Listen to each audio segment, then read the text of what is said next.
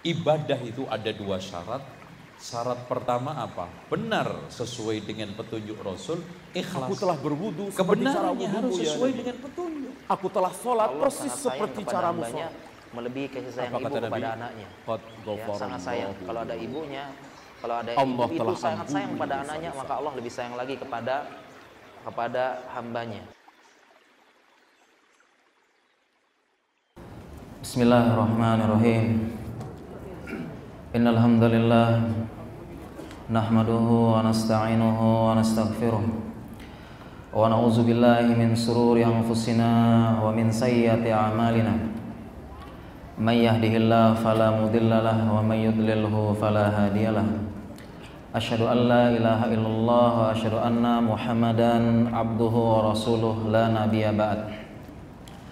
Ikhwan fillah wa fiddin, saudaraku seiman dan seislam yang semoga dirahmati Allah Subhanahu wa taala, yang semoga dikaruniai pasangan halal, yang semoga insyaallah ya, yang semoga ya, diberikan keteguhan dalam beramal dan semoga dimasukkan ke surga Allah yang tertinggi dan dijauhkan dari neraka sejauh-jauhnya. Assalamualaikum warahmatullahi wabarakatuh. Ya, alhamdulillah segala puja dan puji tidak ada kata lain yang harus kita panjatkan dan selalu kita ucapkan melainkan pujian pujian kepada Allah Subhanahu wa taala atas segala nikmat yang sangat banyak, anugerah yang melimpah yang tidak pernah dan sangat jarang kita syukuri. Salawat dan salam kepada junjungan kita, suri teladan kita Nabi Muhammad sallallahu alaihi wasallam. Iwan fillah wa hatafiddin, saudaraku seiman dan seislam ya, pada kesempatan kali ini eh, pada tempat yang berkah ini dan sore ini insya Allah kita akan membahas eh, kajian eh, kesehatan Islam ya mengenai bagaimana persiapan pranikah dan bagaimana kesehatan pasutri atau pasangan suami istri. Sebelumnya sebagaimana berkaca dengan kajian-kajian sebelumnya ya karena mungkin pertanyaannya cukup banyak ya. Dan kemudian juga ternyata qadarullah ya saya harus cepat eh, mengakhiri lebih cepat karena ternyata jadwal pesawat dimajukan ya. Sehingga lebih cepat oleh karena itu eh, saya maklumkan pada kesempatan kali ini mungkin eh, saya eh, menyampaikan materi tidak terlalu banyak ya. Saya percepat materinya, poin-poinnya saja. Kemudian setelah ini kita akan memperbanyak tanya jawab ya. Biar penonton tidak kecewa ya. Kembalikan tiketku gitu. Iya, terkait dengan eh, persiapan pranikah. ya.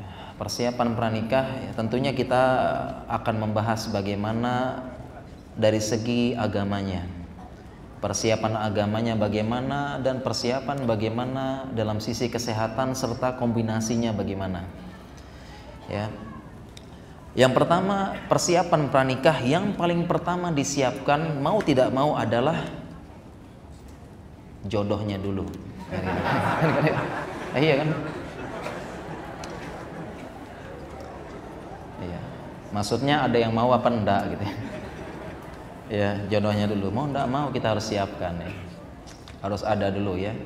Oleh karena itu dalam kesempatan kali ini kita akan doakan kepada yang di sini yang masih jomblo, belum dapat jodoh, semoga diberikan jodoh segera ya diberikan jodoh yang soleh dan sebagainya. Kemudian diberikan dianugerahi teman yang sangat baik. Bagaimana teman yang baik itu? Teman yang baik itu tanpa babi bu, tanpa terlalu banyak motivasi, tanpa terlalu banyak uh, membuli, langsung datang wahai ahi, ini ada contoh, ini ada calon yang bagus sama kamu, eh, silakan langsung taaruf dan nikah. Nah itu. Mudah-mudahan dianugerahi teman yang seperti ini. Ini banyak ya, karena uh, jomblo itu bukan untuk dibully dan tidak perlu terlalu banyak motivasi tapi yang diperlukan langsung dibawakan ini jodoh buat kamu ya, itu ya. ya untuk persiapan ya persiapan pranikah ya dalam sisi syariatnya dulu ya. Dalam sisi syariatnya yang pertama untuk persiapan pranikah tentunya kita mempersiapkan ilmu dulu. Ilmu mental dan penghidupan atau ma'isyah. Mau ndak mau persiapan kita untuk pranikah adalah ilmu, kemudian mental, kemudian ma'isyah, terutama bagi laki-laki. Mengenai ilmu ya kita sudah tahu semua ya. Ulama sudah menjelaskan untuk semua hal. Al ilmu qoblal qaul wal amal. Ilmu sebelum berkata dan berbuat dan beramal. Kita belajar ilmunya dulu. Sehingga ilmu ini wajib. Bagi yang mau nikah ya akan menikah dan sebagainya ini harus mempelajari ilmunya bagaimana ya mempelajari fikih menikah. Dan yang lebih penting semua fikih nikah dan yang terkait dengan pernikahan dipelajari semuanya. Ya dipelajari. Kalau kita mau berbisnis kita belajar. Kita bulbuyu belajar kitab jual beli bagaimana dan sebagainya. Ya kita mau sholat belajar sholat. Kalau mau nikah kita belajar semuanya belajar semua dari nikah. Persiapan bagaimana kemudian uh, mempelajari psikologi suami istri itu dijelaskan oleh ulama itu. Ya menjelaskan juga apa namanya bagaimana uh, fikih talak uh, fikihnya rujuk fikih memberikan rezeki dan sebagainya. Perceraian semua dipelajari. Ya, hanya saja fenomena saat ini ya mungkin sebagian kita bahkan termasuk saya itu kalau mau menikah dia sih belajar. Tetapi yang dibelajar yang dipelajari hanya satu bab yaitu bab malam pertama saja. Ini aja yang dipelajari. Itu pun di murojaah berulang-ulang. Ya, plus dibayangkan sedikit. Ya, ya. ya Allah ya. Dibayangkan kan? Baru dapat biodata. Aduh nanti ketemu sama rambut panjang nama udah gitu udah udah ada bayang-bayang sampai sana. Jadi semuanya ini dipelajari. Al ilmu qoblal qaul wal amal. Sehingga kita kemarin dapat kisah ya kisah nyata. Dan ini ingat seorang oknum ya seorang oknum. Jangan digeneralisir. Seorang oknum yang dia katanya sudah belajar agama dan sebagainya. Kemudian dia menceraikan istrinya ya menceraikan istrinya ya, katanya karena dia mohon maaf ya mungkin dia poligami dia poligami saat itu dia ceraikan terus istrinya salah satunya kemudian istrinya dalam keadaan hamil dan akhirnya anaknya dibiarkan. Padahal dalam fikih ya pernikahan ya kalau sudah terjadi perceraian ya anaknya ini tetap tanggung jawabnya suami yang memberikan nafkah. Tetap walaupun anak tersebut di bawah asuhan istrinya. Dan hak hadonah apalagi di bawah dua tahun istri yang paling berhak selama istri tidak menikah. Dibawa sama istri dan semua ya penghidupannya makannya apanya itu tetap kewajiban siapa? Bapaknya suaminya. Dan ini ditelantarkan. Seolah-olah tidak belajar. Padahal yang lain-lain sudah belajar.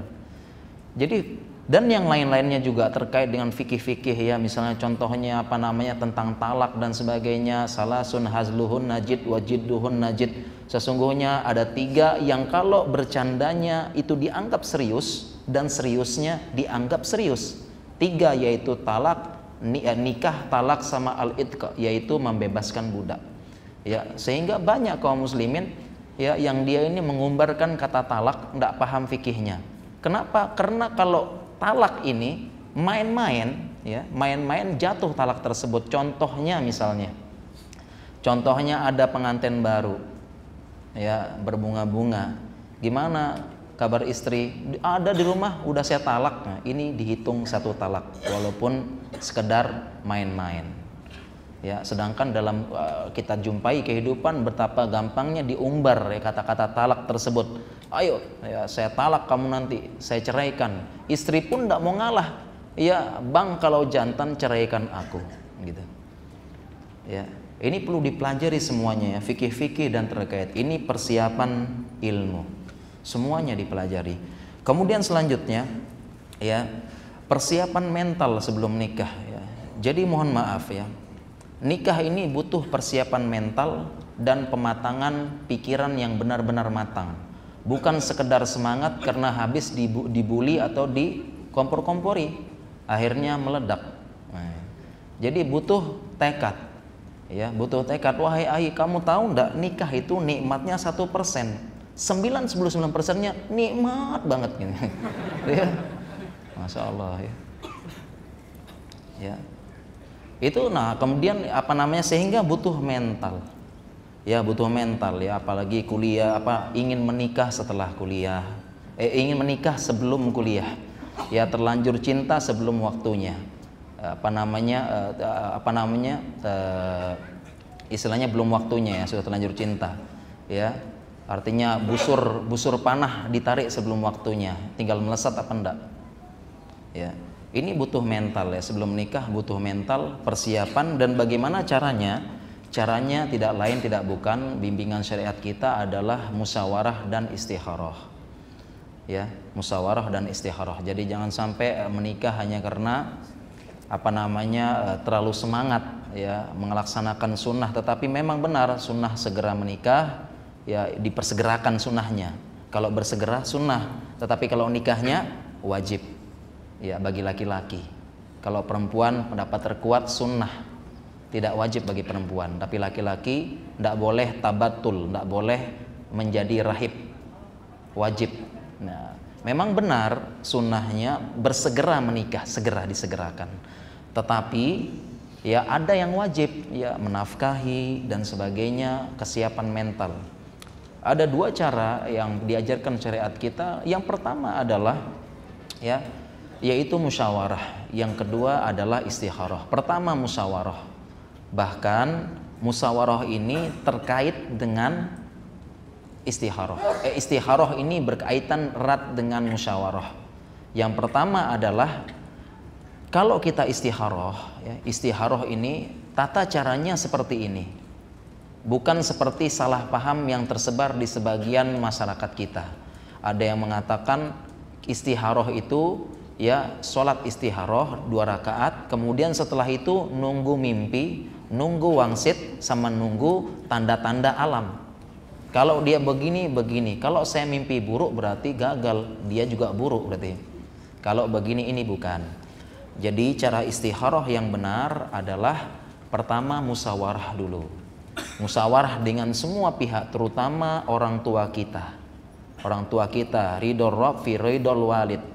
Ya ridho ridho Rob tergantung dengan ridho orang tua. Paling pertama orang tua dulu. Jangan sampai kita tertawa menikah ibu kita menangis tersedih.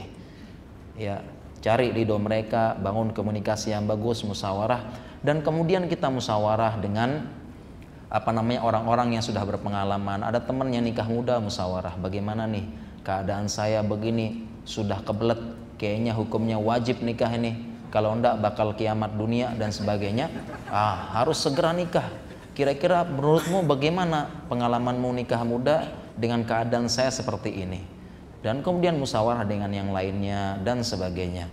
Pertama adalah musyawarah. Ini bagian dari istikharah. Sebagaimana Allah berfirman, "Wasyawirhum fil amri fa iza azamta fatawakkal 'alallah." Musawarahlah kalian dalam urusan kalian ya. Kalau sudah berazam fatawakkal 'alallah, bismillah bertekad kemudian serahkan hasilnya pada Allah Subhanahu wa taala. Jadi itu persiapan mental kita supaya menguatkan mental, memberi yakin kita musawarah. Mau nikah muda, mau nikah ini mau apa namanya dan sebagainya. Ditanya musyawarah begitu juga mau nikah lagi misalnya kan? Nah, mau nikah lagi sama juga istiharoh juga ya. Diskusi sama orang lain. Kalau mau nikah lagi itu jangan dengernya jangan dengerin orang yang baru mau nik baru eh, baru poligami sebulan. Ya. nanti jawabannya sama jawabannya ya. Ya jawabannya sama. Poligami itu nikmatnya cuma satu persen. 99 nya nikmat gitu kali ya. Gitu ya nikmat sekali ya. Belum lagi dikompori berusaha percuma mukamu ganteng ya istri satu. Percuma saya jelek-jelek dua tiga gitu kan. Nah, ada jadi kalau mau musawarah musawarah dengan orang yang sudah berpengalaman jangan musawarahnya dengan yang baru sebulan poligami ceritanya cerita yang enak-enak aja apa musyawarah dengan yang sudah 10 tahun, 15 tahun gimana sih rasanya ini poligami. Nah, baru dia tahu nanti susah dukanya dan sebagainya. Ya. Kemudian setelah musyawarah persiapan pranikah ya barulah dia istikharah sholat dua rakaat. Sholat dua rakaat. Sholat apa pun mau sholat mutlak dan sebagian ulama membolehkan misalnya sholat tahiyatul masjid kita anggap sholat istikharah boleh. Ini termasuk bab menggabungkan apa namanya menggabungkan ibadah ya atau sholat sunnah qobliyah dan sebagainya itu kita bisa sholat istikharah dua rakaat Maksudnya sholat tersebut adalah kita berdoa pada Allah, ya Allah, saya sudah memutuskan, saya sudah musyawarah kalau dialah calon ibunya terbaik bagi anak-anak saya, gitu, ya. Dia calon ibu terbaik buat anak-anak. Nah, saya sudah musyawarah, sudah ini dan Bismillah, saya sudah uh, akan menjalankannya. Seandainya ini terbaik engkau menganggap baik maka permudahkanlah dipermudah dipermudah oleh Allah sampai nanti di pelaminan seandainya ini buruk ya Allah berarti ini nanti Allah akan membuat suatu hambatan-hambatan sehingga tidak jadi ini yang benar tata cara istikharah yang benar seperti ini musawarah dulu sholatnya ini untuk menyerahkan urusannya kepada Allah ya ini yang benar istikharah dalam semua uh, lini kehidupan kita. Dan poin kedua ini istikharah untuk mempersiapkan mental kita. Ya, mempersiapkan mental kita ya. Jadi harus kuat mentalnya ya. Sebagian orang bilang ya walaupun saya tidak setuju antum jangan maju jenggot doang gitu ya. Jangan maju mental itu doang, jangan ya. Ya harus kuat mentalnya dan sebagainya apalagi yang apa teman-teman kita ya saya menjumpai mereka itu bagus mentalnya musyawarahnya bagus sehingga mereka bisa mengkombinasikan di persimpangan antara menikah kuliah dan bekerja. Bisa. Ya bisa. Kemudian selanjutnya ya ini mohon maaf ya ngomong saya agak cepat dah kok kayaknya diburu-buru ya? Ya enggak apa-apa kita pelan-pelan saja ya. Selanjutnya kemudian ya E, kemudian kita lanjut. Persiapan selanjutnya adalah persiapan rezeki. Ya, rezeki ya. Persiapan ma'isyah. Jadi kalau kita e, apa namanya? E, ma'isyah ini penting, sangat penting sekali untuk mencari Aisyah. Ya. Jadi jangan cari Aisyah saja, harus ada ma'isyah. Ya. Harus ada ma'isyahnya ya harus ada maisah untuk uh, rezeki dan bahkan perlu diketahui ya teman-teman sekalian bahkan untuk pernikahan ini salah satu syarat uh, syarat kemampuan dalam menikah itu adalah kemampuan memberikan rezeki. Adalah kemampuan memberikan rezeki. Sebagaimana hadis yang sudah dihafal semuanya oleh para pemuda ya ma'syaras sabab man istata'a minkumul ba'ah fal yatazawaj hadis yang sudah dihafal semuanya tapi di, belum diterapkan sulit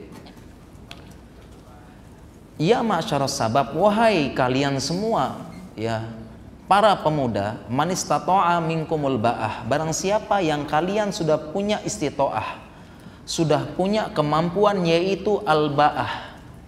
Fal yatazawwaj hendaklah segera menikah.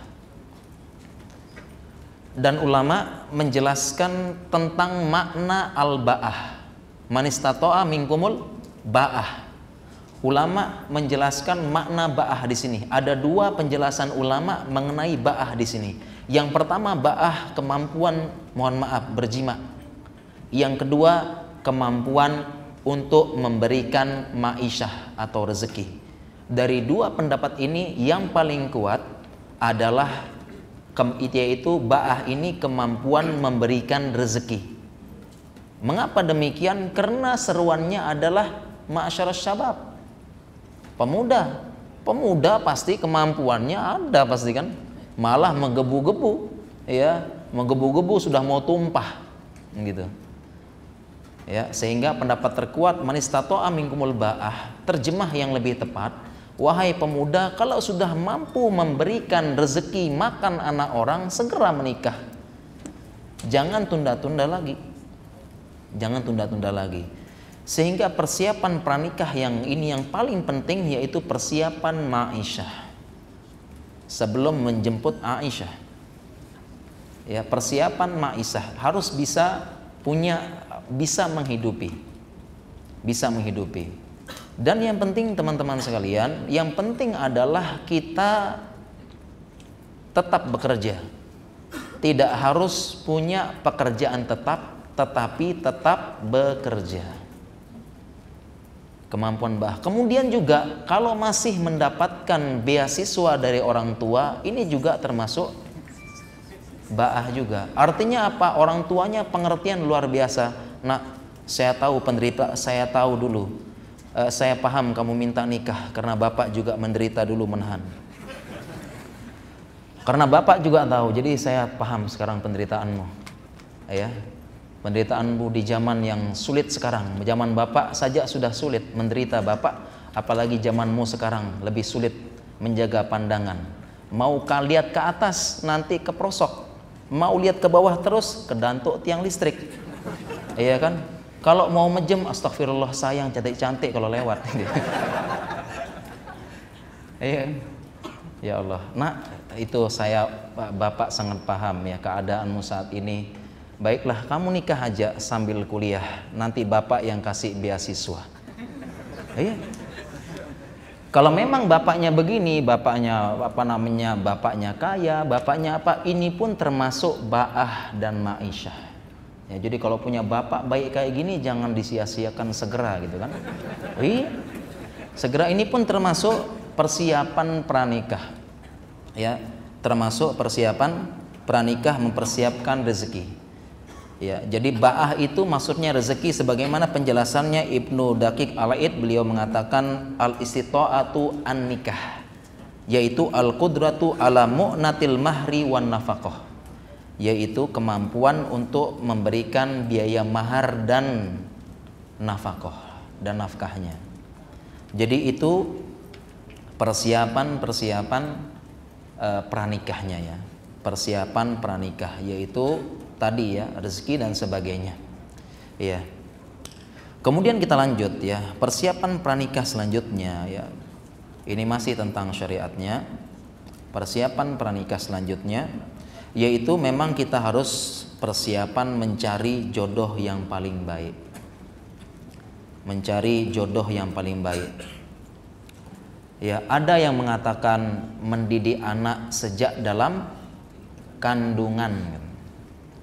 Ya, ada yang mengatakan mendidik anak sejak kandungan, tetapi Islam mengajarkan mendidik anak sejak memilih pasangan.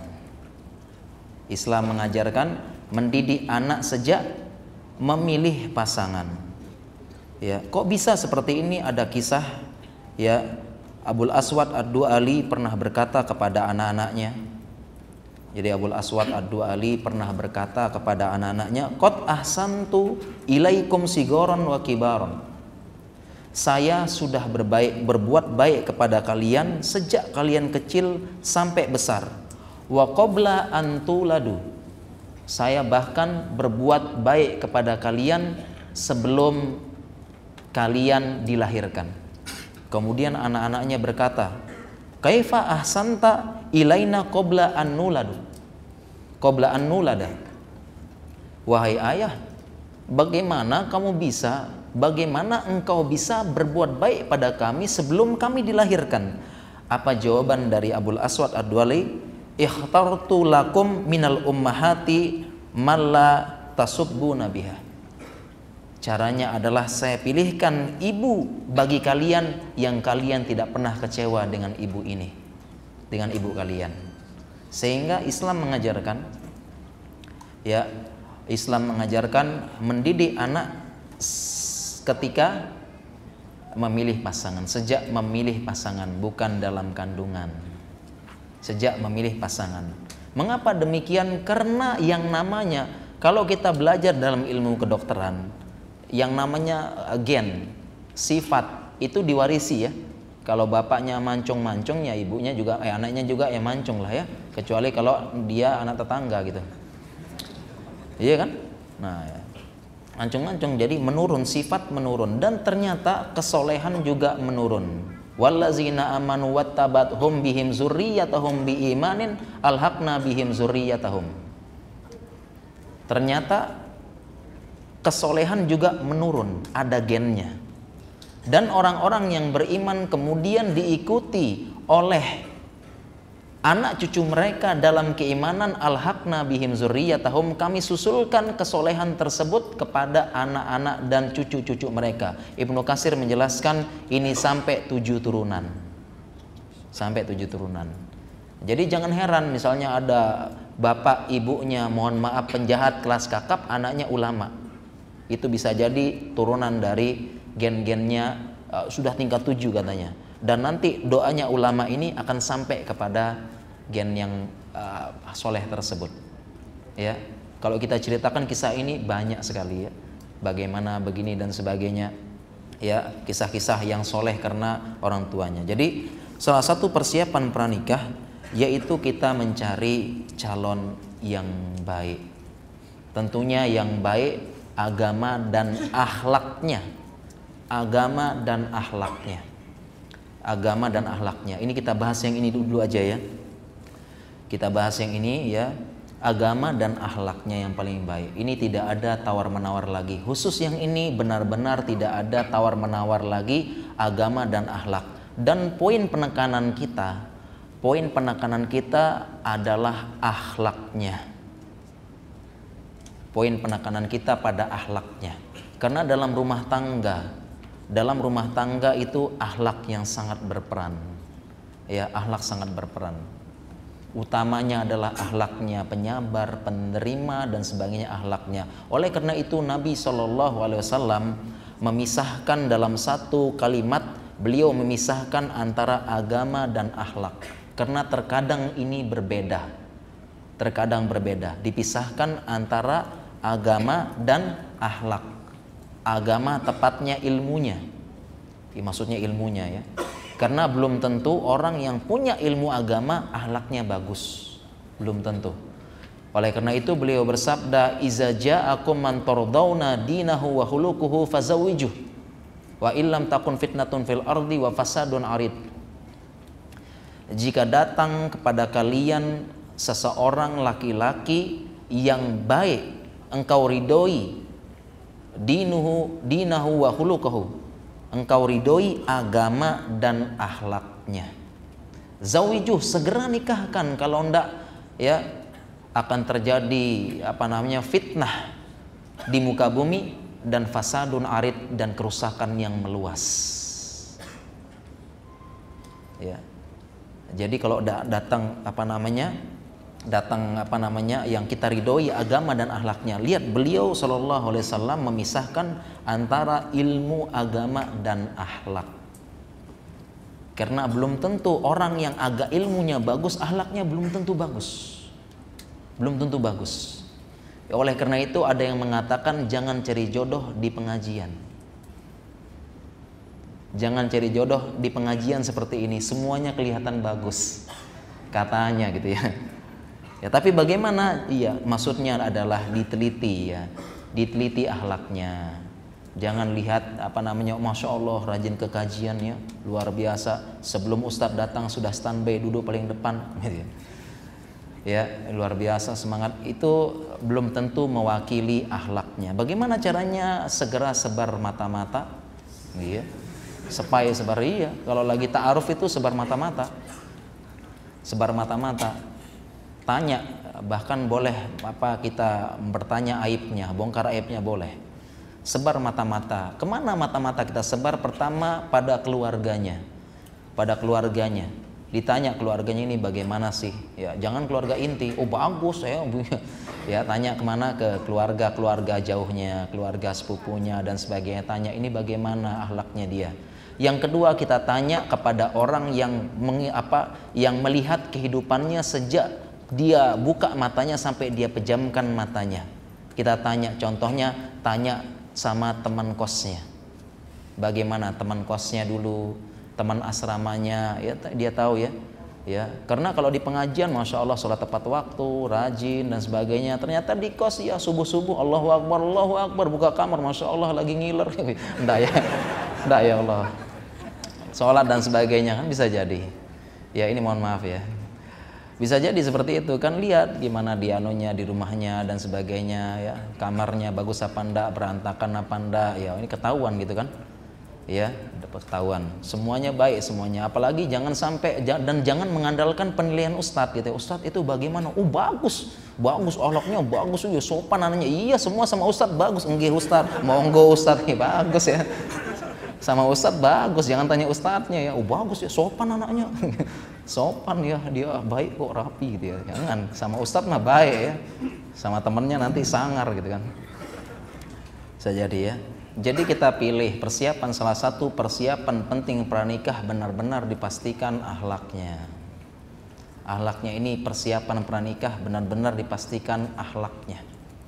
Ahlaknya karena ahlak ini adalah cerminan agamanya. Orang tidak akan bisa berakhlak mulia tanpa iman yang kuat dan agama yang bagus. Ya. Cara artinya uh, ahlaknya dan agamanya, dua-duanya. Ya dua-duanya. Ya dua-duanya. Karena Rasulullah SAW bersabda ya akmalul mu'minina imanan ahsanuhum huluko yang paling baik imannya adalah yang paling baik ahlaknya sehingga ini sejalan kalau imannya jelek jelek ahlaknya kalau ahlaknya bagus bagus imannya sejalan dan ahlak yang bagus tidak akan mungkin keluar dari seseorang yang imannya lemah karena ahlak yang mulia bersabar mengingat hari akhir, mengingat janji Allah, mengingat kebaikan-kebaikan dan keutamaan-keutamaan bagi orang yang bersabar dengan akhlak yang mulia. Dan akhlak yang mulia bisa dikatakan mustahil tanpa bersabar. Ya. Kita pastikan persiapan pernikah yang paling penting adalah kita pastikan akhlaknya diteliti, sebar tuh mata-mata yang banyak ya. Cari tahu bagaimana akhlaknya, bagaimana ininya, karakternya, pemarah dan sebagainya itu disebar. Ya, disebar dan ke, ya dan yang kemudian juga kita apa namanya kita itu buat yang perempuan ya perempuan ya kita pilih ya kita pilih tadi ya untuk laki-laki cuma dua ini Cuma dua ini yang dipilih ya. Persiapannya dia benar-benar memastikan agama dan akhlaknya. Kalau laki-laki ada berapa pilihan dalam hadis ya? Sudah hafal semua hadisnya. Ya, udah hafal semua yakin masih meresap dia dibawa tidur dan sebagainya. Sudah hafal ya.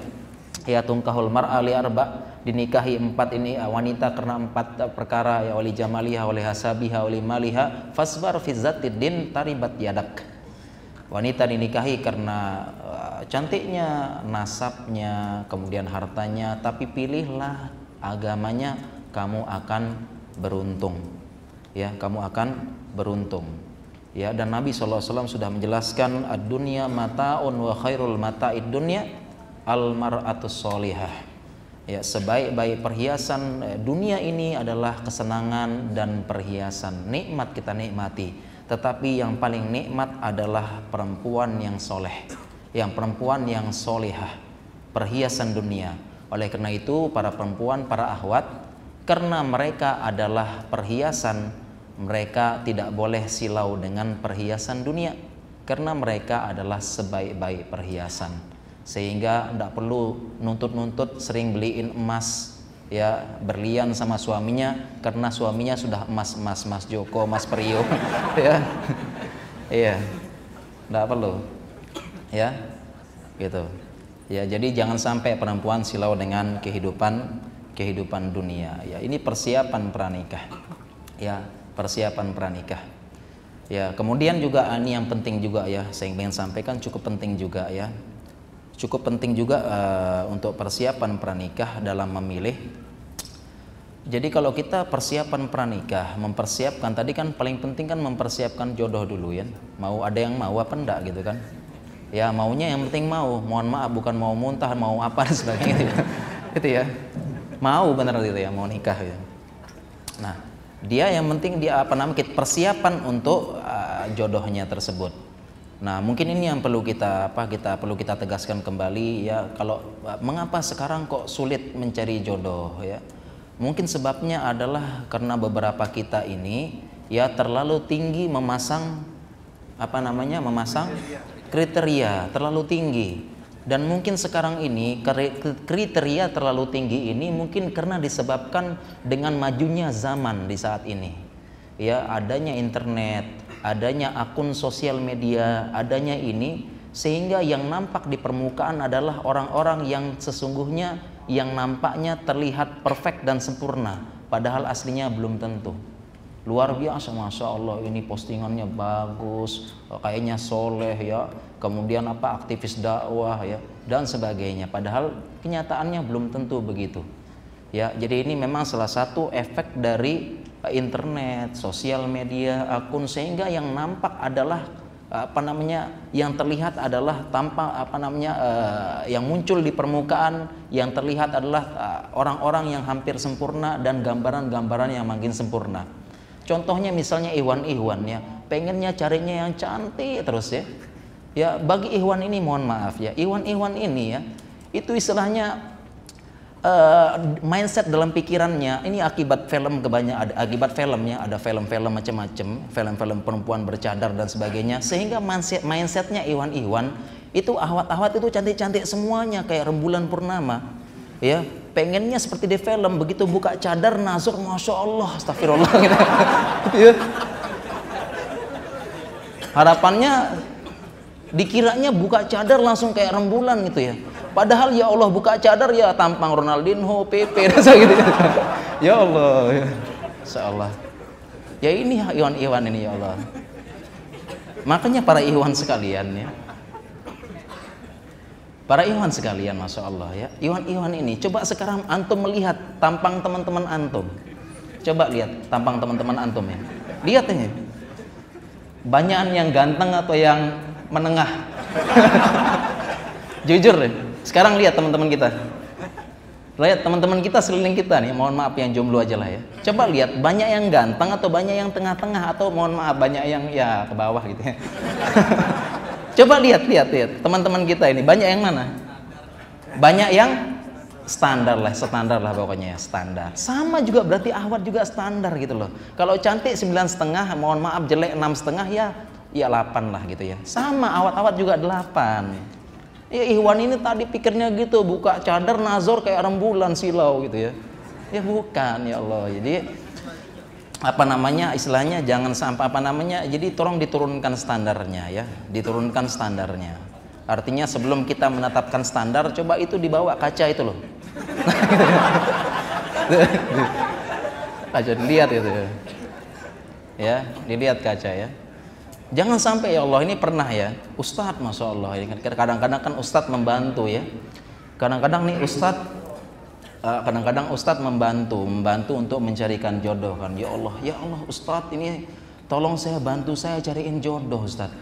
Yang gimana? Pokoknya yang putih Ustadz. Yang semampai. Yang hafizoh yang wadudul walud Ustadz ya lembut nanti anaknya banyak. Kemudian dia apa namanya kemudian dari keluarga yang terpandang Ustadz kemudian dia juga keluarganya bapaknya kaya dan bapaknya sebentar lagi mungkin mau meninggal Ustadz Allah ada yang kayak gini? Ada minta cari. Ya ada minta cari ya. Kemudian apa kata ustadznya? Nah, nanti saya bantu cari. Tapi kalau ketemu, saya dulu yang maju. kamu mencari bidadari dunia gitu ya. Mencari bidadari dunia kamu ya. Coba nampang dulu, lihat kaca dulu gitu ya.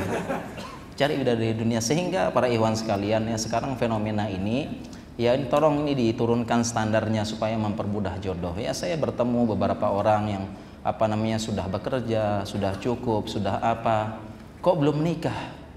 Ya Allah Ustadz sulit sekarang Ustadz mencari wanita yang baik dan bagus sulit katanya.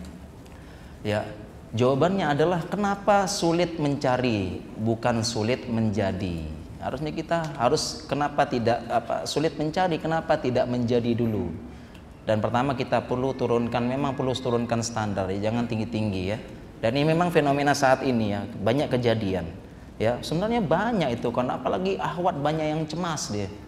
Ya, banyak yang cemas belum dijemput-jemput terus. Mana ini pangeran berkuda putih. ya. Dengan jenggot tipis dan lebat dan sebagainya itu ya Allah, saya sudah menanti di uh, di istana ya, sudah nunggu. Ya, jadi itu jadinya apa namanya eh, kita untuk persiapan pernikah ini ini tolong apa namanya kita turunkan standar kita ya Artinya mohon maaf ya, maksudnya kita lihat diri kita dulu ya, bagaimana kita baru kita ini dan kita segerakan. Ya. Dan kita segerakan apa namanya untuk bisa menikah. Nah, kemudian itu beberapa pembahasan ya, pembahasan dari syariat ya. Kita ada beberapa yang lain, beberapa yang lain tapi kita percepat ya, kita skip ya. Nanti kita banyak tanya jawab aja. Nah, kemudian juga ada persiapan pranikah dari sisi kesehatannya. Eh, persiapan Oh ini penting Afan ada ada hal yang penting ya. Ada yang penting. Iya persiapan pranikah eh, dari kesehatan ya. Yang pertama ya tentunya kalau dari kesehatan ini kita perlu mempersiapkan diri ya, mempersiapkan diri, ya mempersiapkan diri untuk uh, menikah. Dan ini ada satu pembahasan yang cukup penting yang perlu diketahui sebelum menikah.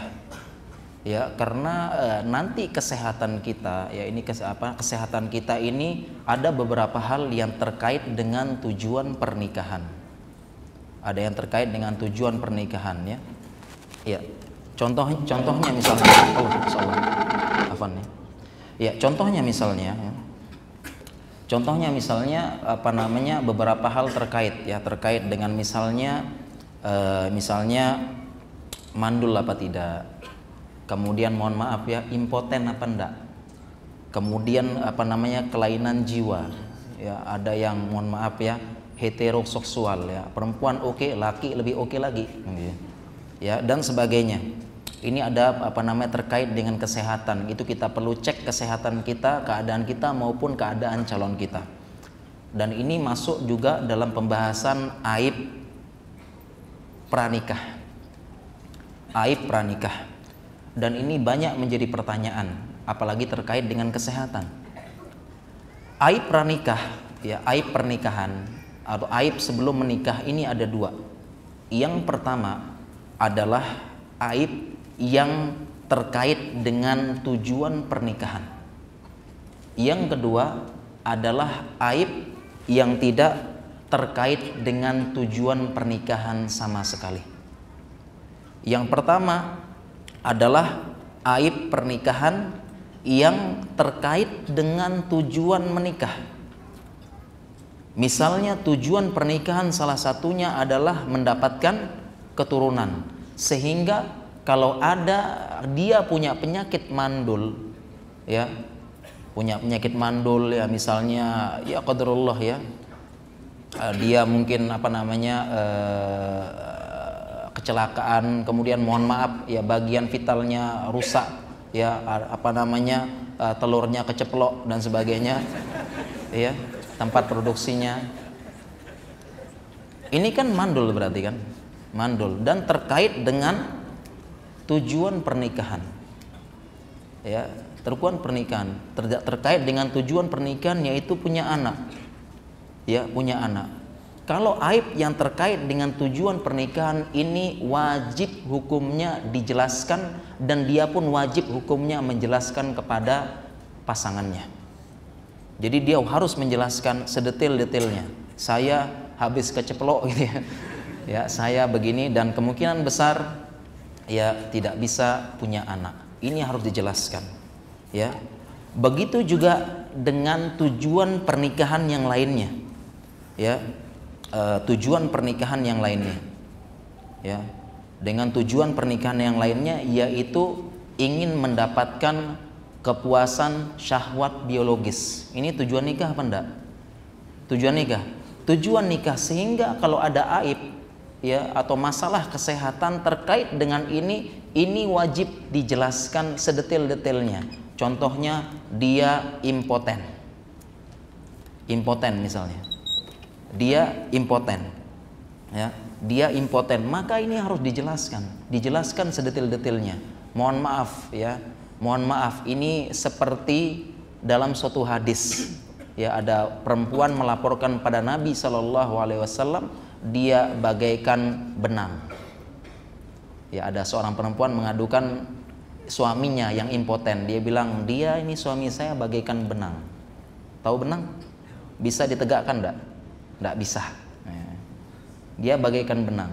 Dijelaskan sedetil-detilnya sehingga dia pun apa namanya uh, bisa menuntut perceraian kalau apa namanya uh, aibnya ini tidak dijelaskan di awal dan dia masuk hukum hukuman penipu. Menipu. Jadi ini masalah ini ya impoten dan sebagainya dijelaskan sedetil-detilnya kepada calon pasangannya. Karena ini tujuan pernikahan. Ada penyakit lain misalnya misalnya penyakit diabetes penyakit diabetes ya. Ini mudah-mudahan apa tidak ada yang kena pada ini. Contoh misalnya penyakit diabetes. Diabetes ini salah satunya adalah dia menyerang kepada saraf. Kalau saraf yang lain ya lebih mending ya. Kalau saraf kaki ya bahaya juga. Nanti kalau dia injek e, paku ya dia tidak sadar luka terus. Makanya bersyukur punya rasa nyeri. Itu anugerah Allah ya. Tidak ait raka sudah tidak diciptakan sia-sia Nah, kalau kita sakit kan langsung angkat ya. Nah, kemudian kena sarafnya, kalau kaki tidak masalah. Tapi kalau kena saraf, mohon maaf di bagian vitalnya tidak bisa bagaikan benang tadi. Nah, bagaimana? Ini dijelaskan, saya kena diabetes. Ada kemungkinan dan diabetes saya parah. Ada kemungkinan nanti lima tahun lagi, 10 tahun lagi bisa jadi saya kena ini. Dijelaskan sedetail-detailnya. Saya kena diabetes parah sekarang. Dijelaskan ada kemungkinan nanti bisa kena saraf bagian itu. Dan ini tujuan pernikahan. Jadi tujuan pernikahan adalah apa namanya mendapatkan syahwat biologis. Ini tujuan pernikahan. Ya. Sehingga itu kalau mau mohon maaf ya, kalau mau poligami jangan gombal. Saya tuh poligami bukan kena syahwat kok. Ya, lillahi taala Oke bang kalau gitu saya bawain jodoh. Dibawain nenek-nenek umur 60 Ya dah. Ini bang kan bukan syahwat bang. Ya, Silakan gitu. Banyak stoknya bang. Ya. Langsungnya memang nikah ya. Tujuan nikah itu memang ya menunaikan syahwat gitu ya. Ini tujuan pernikahan sehingga harus dijelaskan. Dijelaskan sedetil-detilnya Ya Dijelaskan sedetil-detilnya kepada calon tersebut. Ya Demikian juga makanya persiapan ya, persiapan pranikah ya. Persiapan pranikah supaya muda-muda tidak kena sakit diabetes, muda-muda kemudian uh, mohon maaf ya, uh, lemah syahwat gitu ya. Muda-muda kemudian apa namanya uh, mandul tidak sehat ya, mohon maaf tidak sehat spermanya. Makanya muda-muda ini ya itu harus apa nah di, dicontohkan oleh Nabi harus olahraga yang rutin ya. Jadi anak-anak muda ini harus olahraga rutin ya olahraga rutin ya jangan olahraga ini aja apa olah, olahraganya main bola depan laptop PlayStation gitu. Olahraga rutin itu ya. Olahraga rutin karena al mu'minul qawiyyu khairun wa habbu ilallah minal mu'minid dhaif ya mukmin yang kuat yang perkasa dan sebagainya itu lebih baik daripada dan dicintai oleh Allah dicintai oleh Allah dibandingkan mukmin yang lemah jadi pemuda-pemuda kita semua nih harus olahraga semuanya. Syukur-syukur olahraganya yang sunnah misalnya ya, berenang, kemudian latihan memanah, ya dan memanah nih mirip seperti airsoft gun, bisa juga lari-larian, tembak, memanah dan sebagainya. Pemuda olahraga ya, ya berenang, sepeda, naik gunung, semuanya, ya termasuk naik pelaminan gitu. Semuanya olahraga ya. Jadi supaya ini, ya ya jadi harus apa? Harus apa namanya? Harus uh, olahraga supaya sehat ya ini dan sebagai apa? Harus benar-benar menjaga kesehatannya ya. Dan termasuk aib pernikahan yang perlu dijelaskan juga ya teman-teman sekalian. Misalnya dia ini ada kasus ya ada kasus nyata ditanyakan kepada saya. Ya dia sudah menikah tetapi ternyata uh, pasangannya ini ya pasangannya ini dia uh, punya penyakit dermatitis kronik ya dermatitis tahu ya. Dermatitis itu penyakit kulit alergi. Ya, jadi kalau kita kalau dalam keadaan biasa dia ini normal. Tetapi kalau lagi kambuh ya kambuh karena dingin karena debu karena apa itu dia dermatitis ya. Kulitnya semuanya merah-merah mengelupas dan sebagainya. Sehingga apa yang ditanyain? Ini kasus nyata ya. Kasus nyata. Dia tanyain kepada saya. Ini suaminya ya Ya, ya Allah ini sudah banyak insya Allah. Dari Ahwat ya. Eh, dari Ahwat ini membuktikan memang Ahwat cemas-cemas. ya. ya. Iya. Jadi itu, jadi apa namanya uh, istilahnya dia punya penyakit ya, itu punya penyakit sehingga dia kamu apa curhatnya, apa dia ceritakan. Jadi mohon maaf Ustadz, kalau dia kambuh penyakitnya itu bisa seminggu, bisa dua minggu, bisa sebulan. Sehingga saya pun mohon maaf ya ketika dipanggil sama dia, ya minta dilayani saya ya Allah tidak mau, ya tidak mau merasa jijik katanya, ya merasa jijik. Nah kayak seperti ini ini harus dijelaskan, dijelaskan sedetil-detilnya karena terkait dengan tujuan pernikahan dijelaskan sedetil-detilnya. Kita lanjut yang kedua, kita percepat sedikit ya. Ya karena sudah ada yang cemas.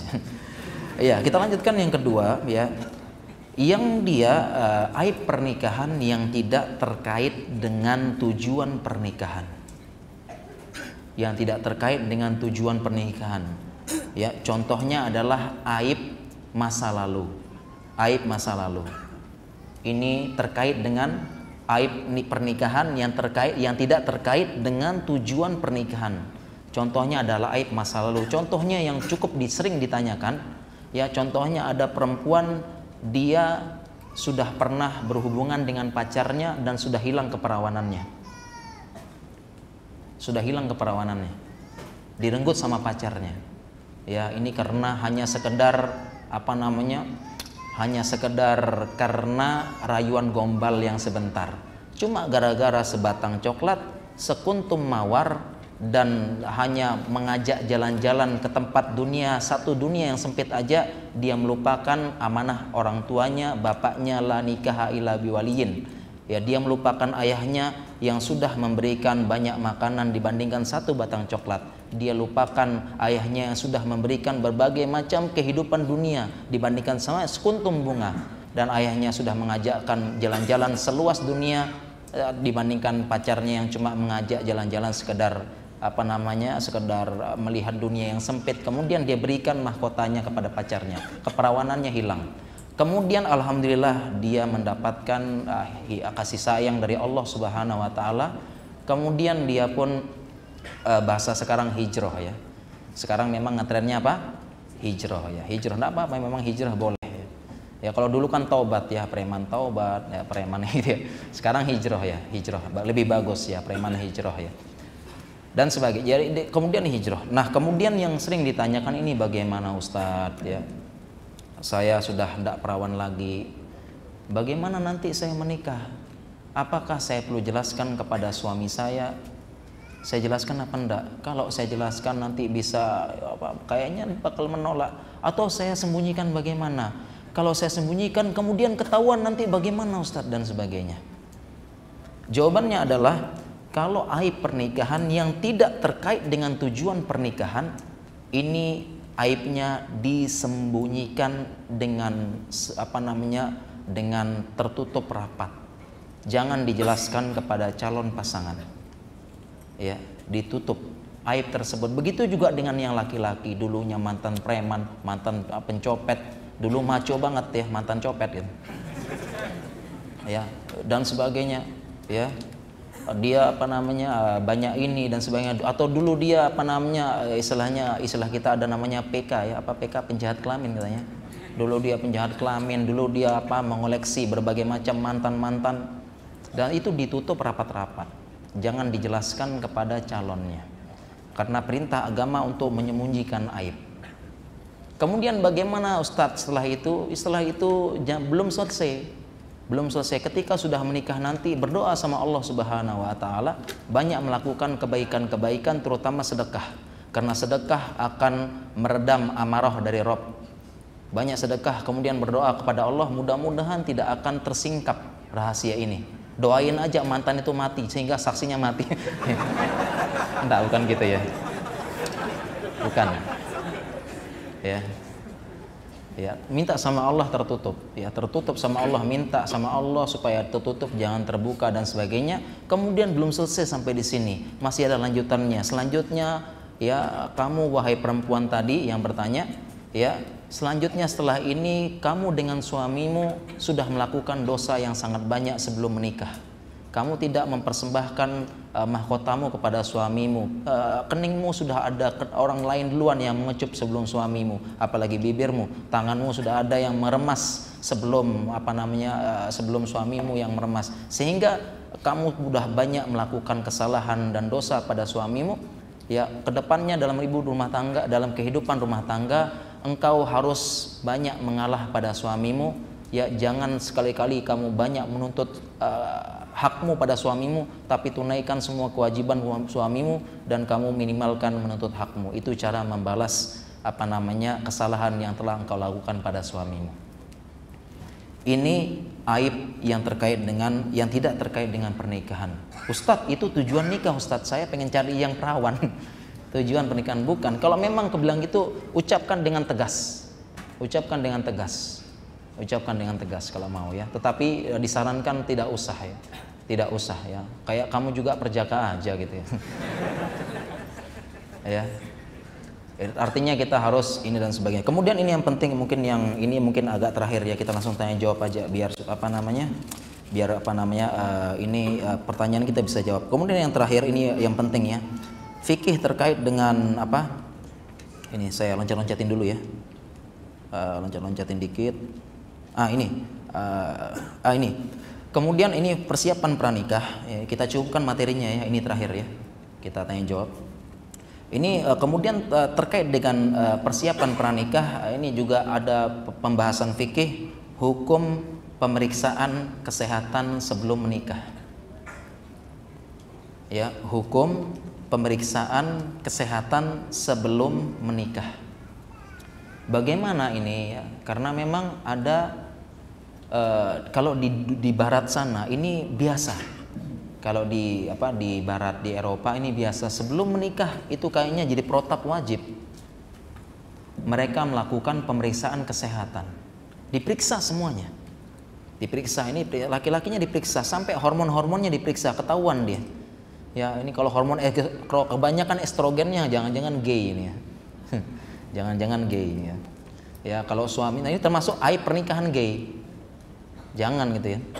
Kalau memang mata-matanya tahu dia gay, jelaskan kepada perempuan tersebut ini gay. Dan jangan disembunyikan aib ini terkait tujuan pernikahan karena banyak sekali ya yang masuk ke apa ya pertanyaan ah, bukan curhat mungkin ya. Cukup banyak yang masuk ternyata suaminya gay dan istrinya merana seumur hidup karena tidak pernah tersentuh. Ya, tidak pernah tersentuh. Jadi jangan kira laki-laki saja butuh pelampiasan syahwat sama perempuan juga butuh bedelayan, butuh apa kelembutan, butuh ini sama dia. Jadi jangan kira eh, jadi para ikhwan jangan kira perempuan itu ndak pengen suami yang ganteng, suami yang putih, gagah, dadanya bidang, atletis dan sebagainya. Perempuan juga mau. Sama juga. Innaman nisa'u saqo ikur rijal. Sesungguhnya perempuan adalah saudara kandungnya laki-laki. Kalau kamu mau yang cantik, perempuan juga pengen yang ganteng, sama gitu. Sama. Ya sehingga perempuan juga butuh ya. Jadi jangan kalau ada gay dia ini ini harus ah, dijelaskan sejelas-jelasnya. Kasihan perempuan nanti dia tidak mendapatkan kepuasan syahwat. Ya sama dia nanti galau menderita dan sebagainya. Dan banyak hadis-hadis yang terkait hal ini.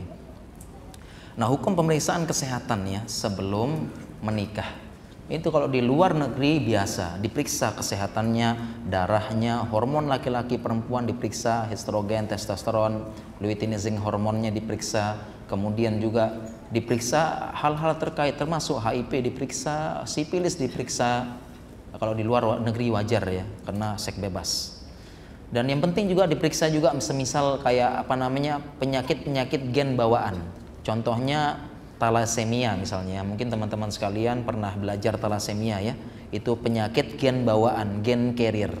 Ya kalau ada bawaan ini sama ini nanti kalau lahir anaknya pasti kena. Dan kalau sudah kena talasemia berarti memang anaknya adalah bisa jadi cacat seumur hidup ya. Artinya transfusi terus.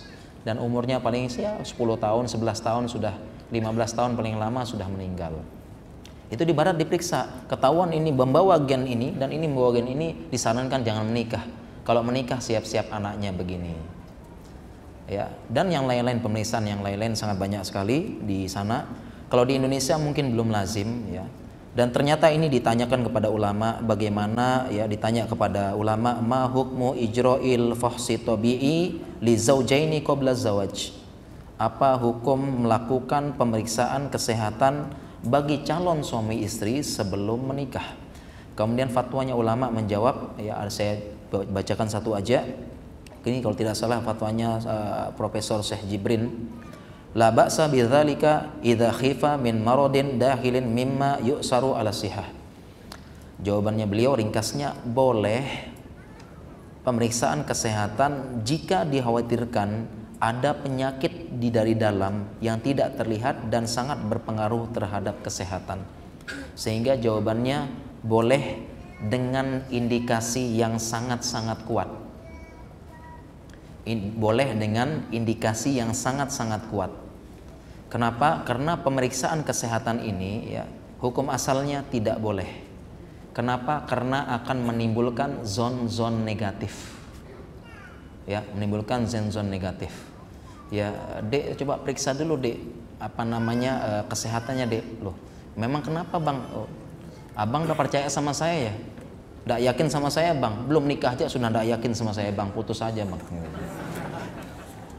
Ini kan bisa menimbulkan zon-zon negatif, menimbulkan zon-zon negatif sehingga katanya sebenarnya uh, ini penjelasan berapa beberapa fatwa sebelumnya tidak boleh, jangan periksa kesehatan sebelum menikah. Percaya saja dengan apa namanya dengan jodoh anda itu takdir Allah terbaik yang diberikan kepada anda kalaupun nanti uh, lahir anak cacat dan sebagainya itu salah satu ujian untuk meningkatkan derajat Anda dan sebagainya. Ya. Ya bisa, tetapi katanya Syekh uh, Jibrin dia fatwanya tidak apa-apa, boleh asalkan ada indikasi yang sangat-sangat kuat. Sangat-sangat kuat ya. Misalnya contohnya dia punya saudara tiga mandul semua. Oh ini berarti tinggal dia ini. Jangan-jangan mandul juga dan ini terkait dengan apa tadi? tujuan pernikahan. Nah, kalau gitu bisa katanya saya Jibrin. Ya, apalagi dia apa laki-laki. Kalau dia laki-laki perempuannya kan gimana? Kalau dia perempuan gampang laki-laki poligami lagi kan gitu. Ya, dengan pertimbangan maksudnya. Ya, seperti itu. Jadi ini apa namanya e, terkait dengan e, hukum pemeriksaan kesehatan sebelum menikah. Ya mungkin mohon maaf ya, saya cukupkan sampai sini materinya. Kita lanjutkan dengan tanya jawab ya. Oh ya, syukur. Ya, ini Iwan ya. Iwan ya, ya kita bagi dua kanan kiri ya biar adil. Ya. Kita lanjutkan dengan tanya jawab ya. Mudah-mudahan waktunya cukup ya. Cukup lah insyaallah. Ya, kalau terkait dengan pertanyaan, mohon maaf ya tidak semua bisa saya jawab. Jadi saya baca dulu ya. Saya baca dulu. Kalau saya bisa jawab, saya jawab. Kalau enggak saya loncatin. Ya.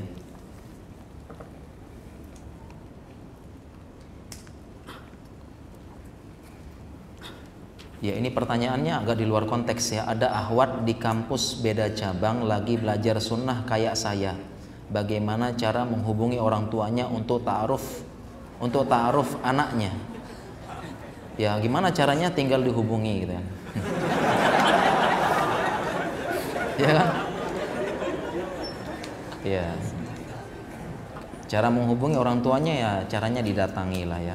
Ini ahwat yang nanya ya ya caranya biar taaruf pada anaknya jadi eh, tinggal uh, saya malu dan bingung ya tinggal ini aja oh ini awat yang nanya ya awat yang nanya berarti dia apa namanya berarti dia ini ya cara menghubungi orang tua Ikhwan berarti kan iya. Ini kan awat yang nanya ya berarti cara menghubungi orang tua Ikhwannya dia tinggal bilang ke orang tuanya Pak kalau anak bapak jantan tolong datang ke bapak. Nah, gitu. Ini dan sebagainya ya. Jadi boleh ini bagus nih, boleh. Jadi memang ahwat itu boleh ya menawarkan dirinya boleh. Hadis apa dalilnya adalah perbuatan seorang sahabiah yang dia menawarkan diri pada Nabi SAW tolong nikahi saya. Kemudian Nabi SAW pun dia membiarkan dan ini disebut dalam ilmu usul fikih takrirun Nabi. Pembiaran Nabi berarti hukumnya boleh. Jadi perempuan boleh menawarkan diri. Ya, apalagi di zaman sekarang persaingannya berat gitu. Ini tawarkan diri. Perempuan makin banyak, laki-laki makin sedikit. Ya, kalau di dalam forum ta'aruf ini biodata ahwat 10, biodata ihwan 1. Itu pun satu ini dikasih maju mundur gitu. Ya, repot gitu. ya maaf ya itu seperti itu. Jadi ini tidak apa-apa ini bagus dia tawarkan diri hubungi orang tuanya tawarkan diri ya ya atau langsung bilang ke ikhwannya ndak apa-apa bilang aja ke ikhwannya bilang langsung ya sekedar bilang kalau dia oke okay, ya nanti kita lanjutkan lewat wasilah boleh Ya, maukah ahi menjadi pangeranku dan sebagainya jangan deh. Maukah menjadi imamku wahai ahi? Maaf saya sudah sholat gitu. ya. Ya. Maukah kamu jadi imam? Tidak apa-apa bilang, ya. Tidak apa-apa dibilang. Ya. Bilang tidak apa-apa, disampaikan aja, mau ndak ya? Mau ndak menikah dengan saya? Itu ndak apa-apa, itu ada ada anjurannya, itu hukumnya boleh. Bahkan sekarang ini ya ndak tahu ya, persaingan berat kayak gini nih ya ini boleh menawarkan diri kepada laki-laki dengan cara yang terhormat tapi ditawarkan diri dengan bahasa yang baik. Kalau dia menerima, kita lanjutkan dengan wasilah. Kalau ndak, ndak usah. Saya malu dan bingung. Bagaimana solusinya? Ini pertanyaannya. Saya malu dan bingung. Malu perempuan tersebut. Oleh karena itu, kalau perempuan menawarkan diri kepada ikhwan, ya bilang sama ikhwan tersebut, tolong hal ini hanya kamu, saya dan Allah yang tahu. Tolong rahasiakan. Seandainya kamu menolak, bilang gitu ya sama kan ini malu kan. Memang perempuan itu berhiaskan malu perempuan itu. Tolong kalau kamu tidak mau sama saya, tolong rahasiakan. Cukup kamu, saya, dan Allah yang tahu. Jangan kasih tahu yang lain. Malu perempuan. Dan Ikhwan pun jangan ember bocor gitu. Ya Allah. Ada ini. Ya. Itu bagaimana? Itu apa namanya? Uh, WA-nya itu di screenshot, di posting terus. Ya Allah. Bahaya Allah.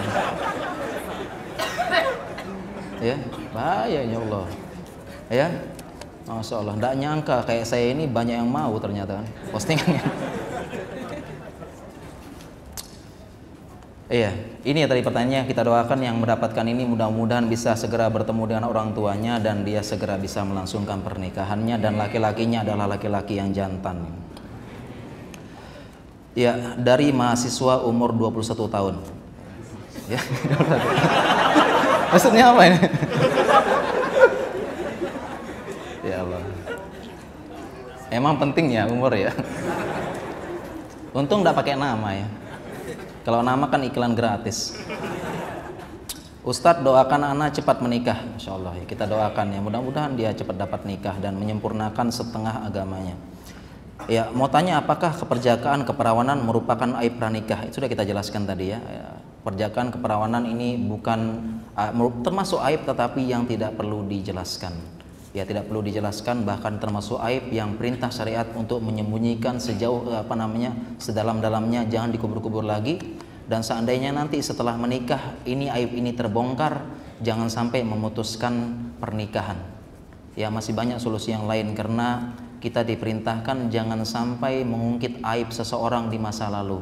Karena kita tidak tahu betapa berat perjuangan dia meninggalkan masa lalu dan aib tersebut. Jangan diungkit-ungkit lagi ya cari solusi yang lain. Saya pernah dapat kasus ya, ya dapat kasus ini uh, istrinya berzina diam-diam. Berzina berzinanya ini seperti ember masuk ke eh, seperti ember masuk ke dalam sumur. Istri berzina ya diam-diam. Akhirnya bagaimana solusinya? Solusinya untuk menebus kesalahan saya dia carikan uh, jodoh untuk suaminya. Dia carikan jodoh untuk suaminya supaya menebus dosa saya katanya. Saya suruh suami saya untuk nikah lagi. Ya itu untuk menebus. Masih banyak solusinya dan sebagainya. Kita lanjutkan. Pertanyaan dari Ahwat. Ya Assalamualaikum warahmatullahi wabarakatuh. Pertanyaan ini pertanyaan Ahwat ya. Bagaimana cara memulihkan hati setelah ditolak? Ya Salam. Ya memulihkan hati setelah ditolak ya Allah. Ini perkara berat ya. Perkara berat ya. Mungkin bagi apa mungkin bagi ahi gampang menasihati saya tapi bagi saya sulit. Berat perkaranya. Ditolak ya. Ini memang efek pendidikan kita. Sejak SD kita diajarkan cuma mengingat terus. Tidak pernah diajarkan melupakan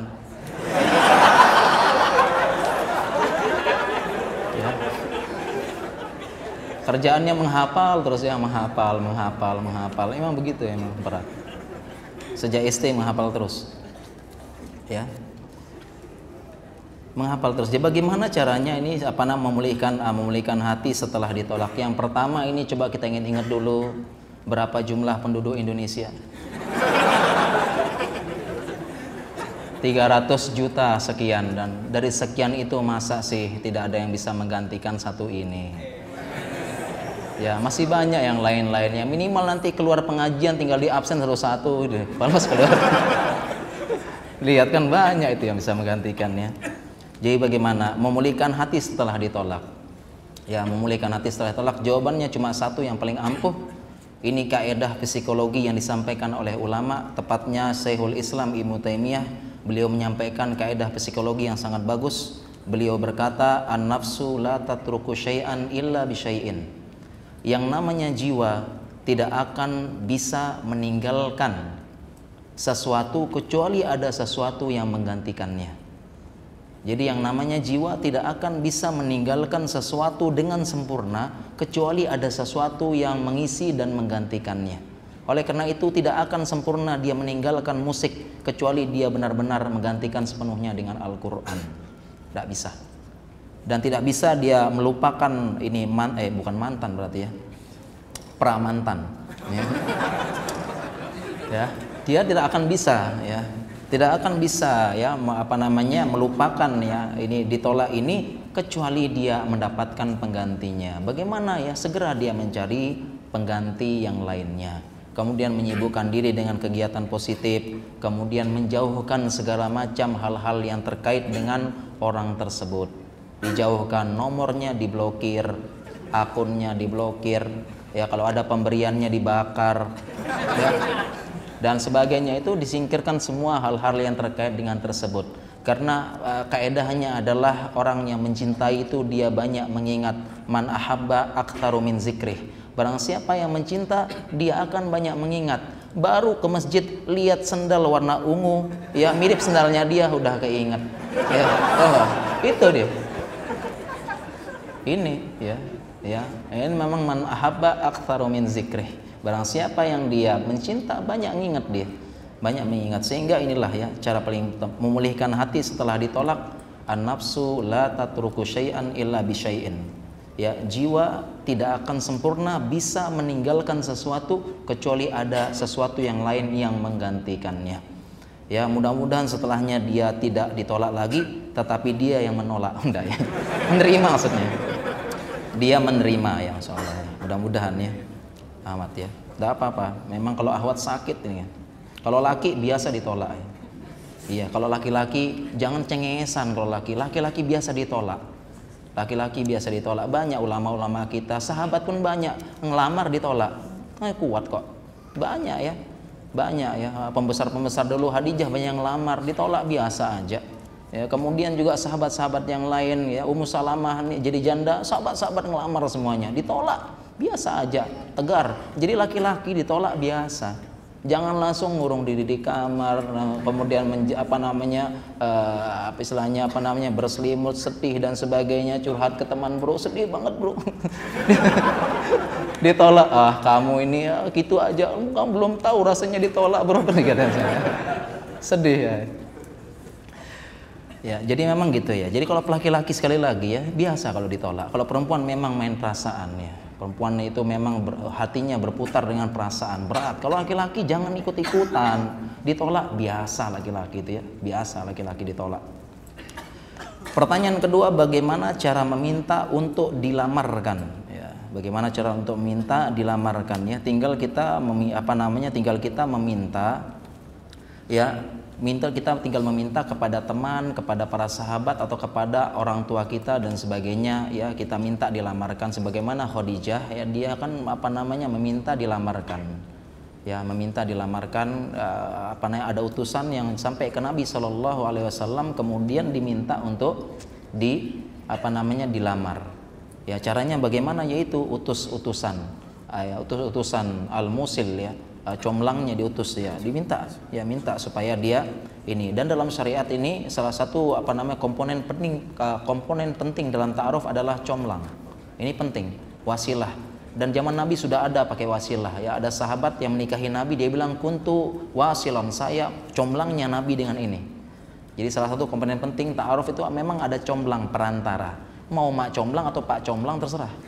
Yang penting perantara Ya, yang penting dia perantara. Itu minta dilamarkan ya. Ya.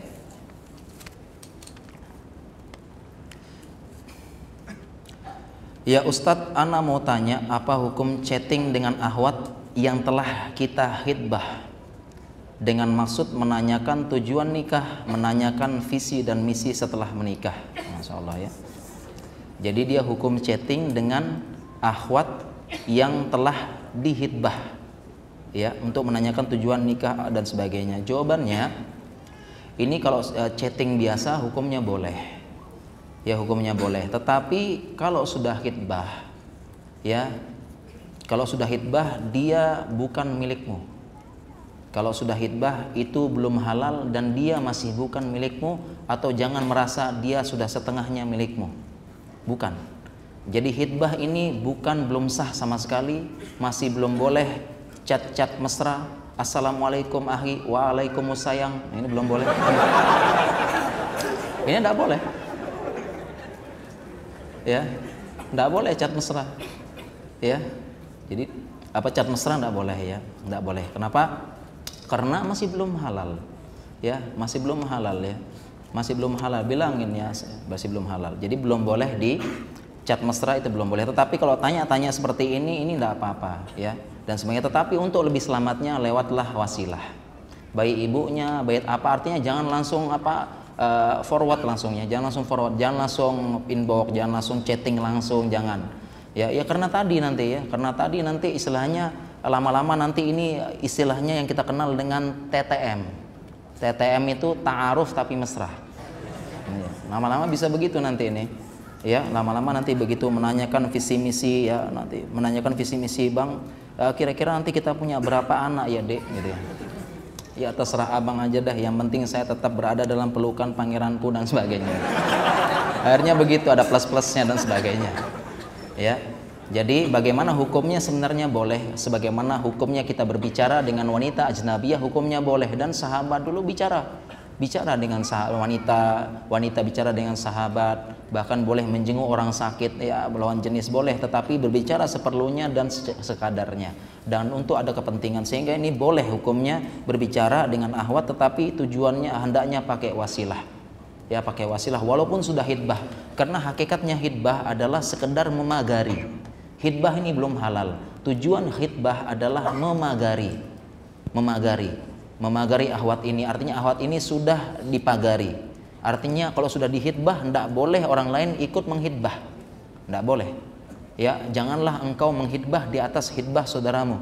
Tidak boleh. Jadi orang kalau sudah hitbah orang lain tidak boleh hitbah ahwat ini tidak boleh. Sudah dipagari. Itu maksudnya hitbah cuma sekedar memagari. Tidak boleh dia hitbah kecuali seizin orang yang menghitbah. Kecuali seizin orang yang menghitbah. Jadi bang saya izin hitbah dia ya. Ya oh tampang kamu silahkan gitu ya. ya pasti ditolak kamu gitu ya. Boleh gitu ya. Ya sebenarnya. Jadi seperti itu. Ini hukumnya uh, boleh tapi tidak dianjurkan. Kita pakai wasilah. Dari siapa? Dari awat ya oh Iwan. Pindah sini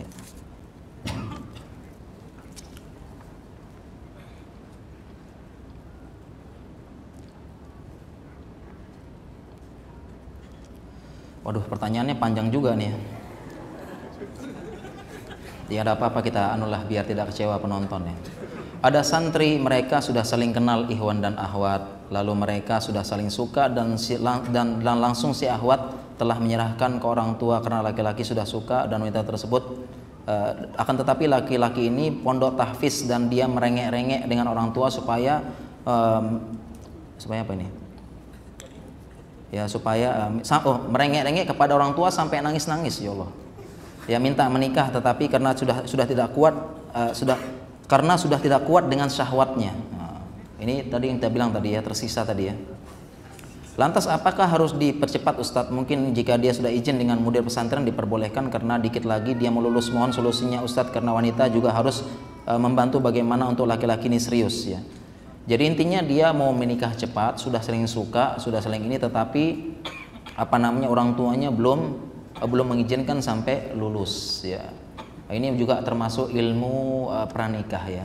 Ilmu pranikah. Jadi Uh, intinya orang tuanya ndak masih tidak setuju ya. Merengek-rengek pada orang tua sampai nangis-nangis ya Allah. Uh, intinya bagaimana caranya? Caranya adalah ya memang ya namanya pernikahan itu memang harus orang tua. Ya sebenarnya ya tidak ada syarat nikah itu persetujuan orang tua bagi laki-laki. Kalau perempuan harus. Ya tetapi yang wajib adalah mencari ridho orang tua. Sehingga kalau kita menikah jangan sampai apa namanya orang tua tidak ridho. Kita perlu menjelaskan dan sebagainya. Bagaimana caranya menjelaskan ke orang tua? Perlu diketahui teman-teman sekalian yang namanya orang tua yang namanya orang tua tidak ada yang ingin anaknya menderita. Itu tidak ada tidak ada orang tua yang ingin anaknya menderita. Apalagi dia jelaskan ya Allah bunda bunda ini saya sudah sawat memuncak merana terus. Itu pasti ibunya sedih kalau dengar itu. Ya tidak bisa mikir tidak bisa ini dan sebagainya. Memang begitu memang ya. Jadi laki-laki banyak tersiksa laki-laki di zaman sekarang. Ibarat melihat melewati ke perkebunan duren. Gitu ya. ya cuma cium baunya doang tidak bisa makan. Ya ngiler terus. Ah jadi bagaimana solusinya? Perlu diketahui namanya orang tua tidak ada yang ingin anaknya tersiksa. Sehingga ini sebenarnya masalah komunikasi saja. Masalah komunikasi. Tinggal komunikasi yang baik dengan orang tuanya. Diyakinkan ya saya lebih bahagia kalau nikah duluan. Dan saya berjanji akan menyelesaikan studi dengan baik. Dan ini ada buktinya teman saya juga sama. Dia juga begini tapi dia bisa menyelesaikan studi dengan baik. Ada contohnya, ada ininya ibu jangan khawatir. Karena sebenarnya surat eh, sebenarnya eh, orang tua tidak mengizinkan dan sulit keluar SIM itu. SIM itu surat izin menikah. Itu sulit keluar dari orang tua. Kenapa? Karena dia khawatir kalau menikah ini studinya tidak selesai, kuliahnya tidak selesai itu kekhawatiran terkuat orang tua. Ya sehingga dia tidak mengizinkan. Ini sebenarnya tinggal masalah komunikasi yang aktif dan komunikasi yang baik karena apa namanya harus yakin bahwasanya orang tua itu dada dasarnya tidak ada orang tua yang ingin anaknya menderita. Ya, baik ya. Masya Allah, ini pertanyaan bolak-balik. Tebal-tebal, padat-padat ya, ya Allah. Panjang banget ya.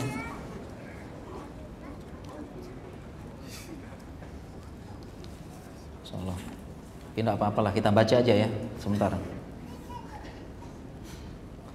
Iya, saya mengenal seorang wanita sudah sebulan ini dia seorang dokter yang saat ini mengambil spesialis anestesi. Ya, biar biar iwan-iwan di sini para jemaah tahu, ya kalau dokter kalau dokter itu mengambil sekolah spesialis siap-siap rumahnya di rumah sakit. Jadi rumahnya tempat taruh anu aja, tempat taruh uh, apa namanya? Uh, pakaian dan sebagainya. Rumahnya rumah sakit tinggal di situ. Ya karena sangat sibuk ya sekolah kedokteran spesialis itu sangat sibuk sekali. Apalagi ini yang paling sibuk yaitu anestesi. Paling sibuk. Ya paling sibuk ini anestesi. Sehingga mungkin dia sedang mengambil perempuan sedang mengambil sekolah spesialis anestesi yang bakal sibuk sekali. Sangat sibuk. Saya ingin menikahinya karena ahlaknya dan agamanya bagus juga cukup cantik bagi saya namun mengetahui tugas jadwal kerja dokter anestesi terkadang membuat saya berpikir dua kali dia berkata bahwa dia sangat ingin berkarir di dunia kedokteran sebagai dokter anestesi dan kerja dokter anestesi terkadang bersifat on call. Bahaya juga sedang malam-malam. Bisa juga tengah malam dini hari ya.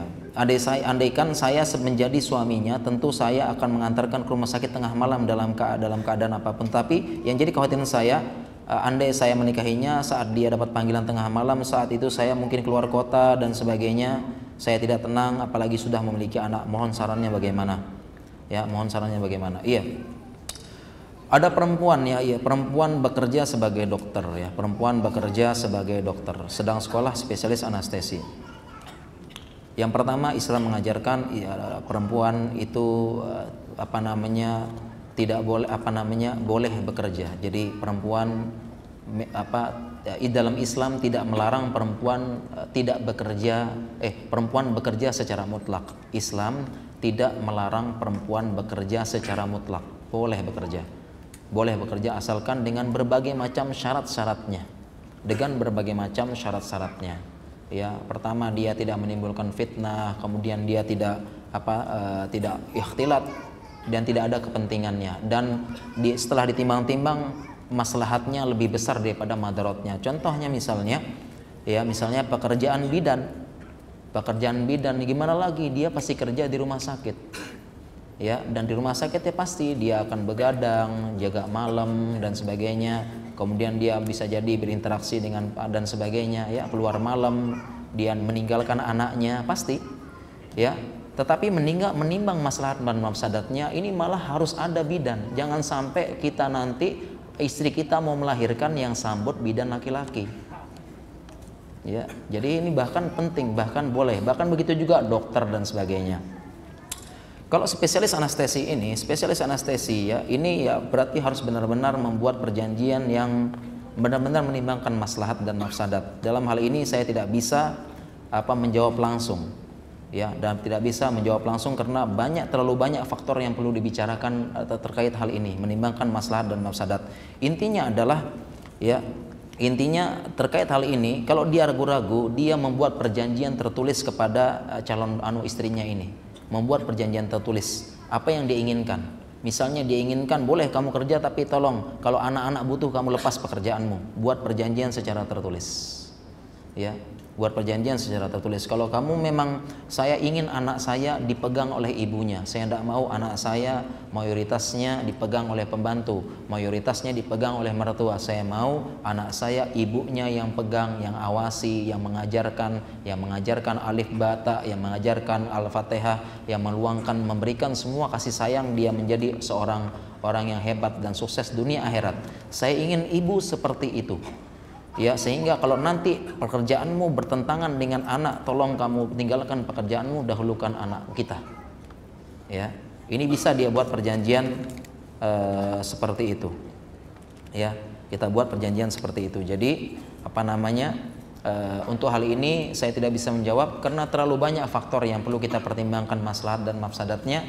Ya tidak bisa kita katakan juga harus ditolak harus diterima. Ya banyak pertimbangan yang lainnya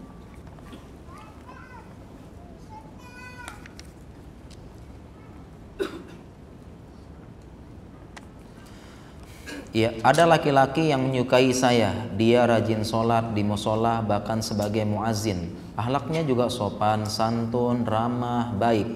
Tetapi dia mencari nafkah dan menjadi pegawai bank konvensional, jujur. Ya, konvensional. Jujur saya juga sedikit ada rasa padanya. Baru sedikit ya.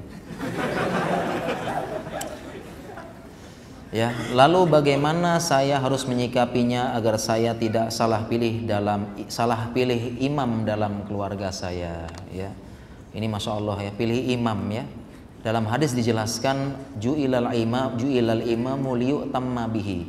Ya, jadi imam ini imam itu dijadikan imam supaya dia mengikuti imam. Banyak perempuan berangan-angan kapan imam menjemput tetapi ketika imam dijemput, imamnya dilawan terus dan diomelin terus gitu ya. Tapi sedikit ya insya Allah ya, sedikit ya. Kalau sudah ngaji paham. Ya, ingat ya hafalin ya, al imamu ju'ilat imamu liyatama bihi ya.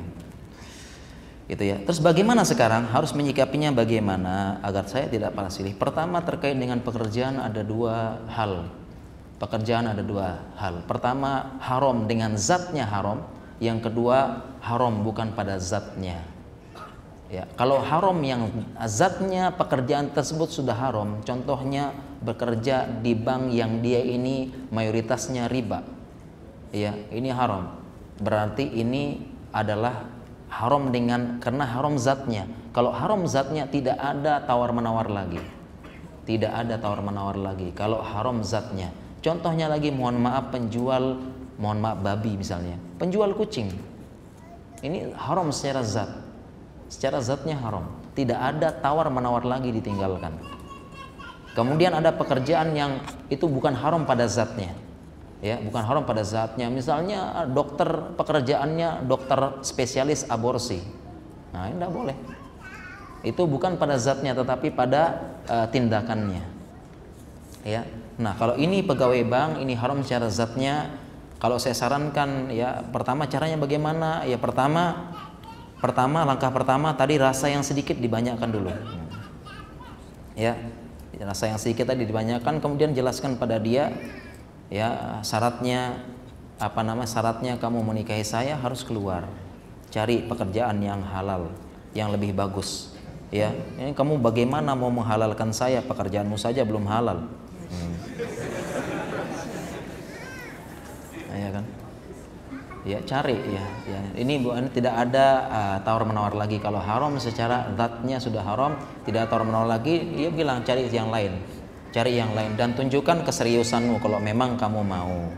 Ya, jadi ini seperti ini ya. Jadi tidak ada tawar menawar lagi bilang dia harus cari pekerjaan yang lain dan banyak rezeki Allah luas dan kita sudah banyak mendapatkan cerita orang-orang yang dia apa namanya meninggalkan yang haram. Barang siapa meninggalkan sesuatu yang haram awadallahu khairum minhu maka Allah akan menggantikan yang lebih baik dari apa yang ditinggalkan tersebut. Pertanyaannya apa ada solusi bagi seorang laki-laki yang hyper? Titik titik titik titik. Ya. Titik-titiknya ini tiga huruf eh tiga titik. Udah paham ya apa apa solusinya bagi laki-laki yang hyper yang belum menikah? Ditakutkan nanti setelah menikah tetap tidak bisa bersyukur dengan pasangannya. Ya. Jawabannya adalah coba menikah dulu. Jangan-jangan pasangannya juga hyper.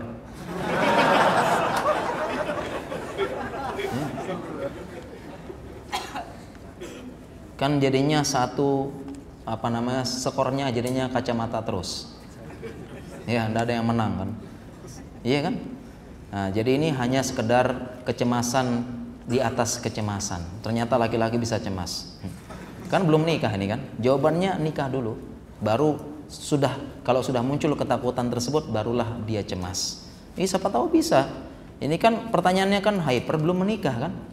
Iya kan? Belum menikah bagaimana kalau sudah nikah nanti? Jawabannya nikah dulu ya siapa tahu nanti dia apa namanya uh, istrinya nanti super science hyper. Nah, gitu. iya kan? Kalah dia nanti. Nah, iya. ya. Ya bisa kalah nanti kan. Ini adalah kecemasan yang belum ada belum saatnya. Ya takdir itu belum turun dan takdir itu belum menyentuh tanah.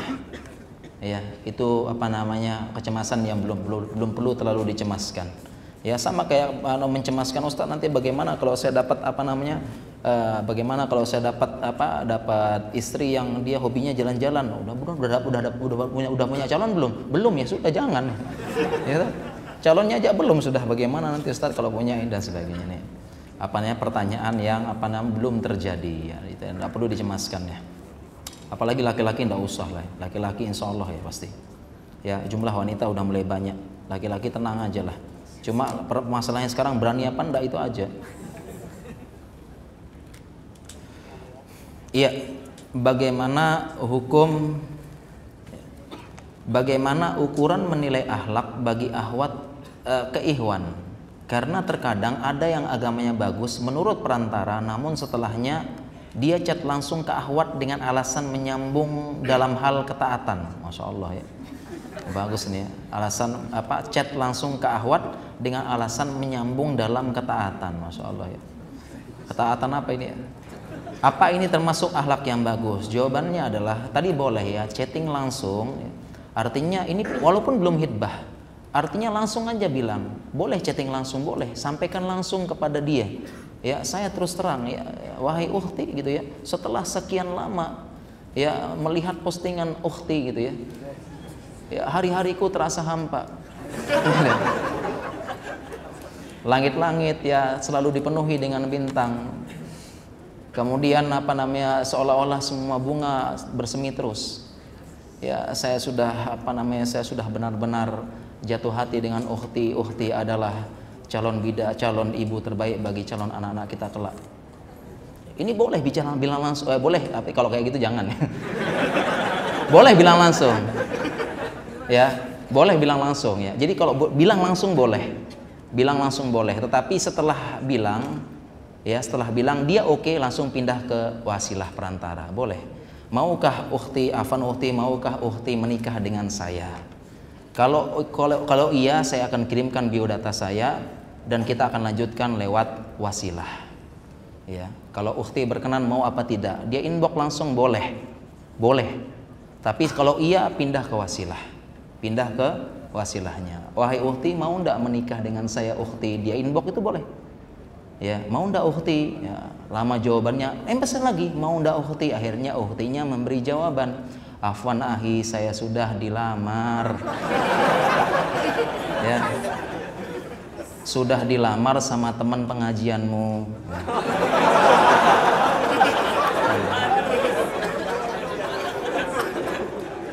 Terlambat ya Allah. Makanya terlambat ini. Cepet-cepetan. Ikhwan pun ikhwannya pun tidak mau kalah hawa, tidak mau kalah gengsi. Afwan ukhti, akun saya dibajak.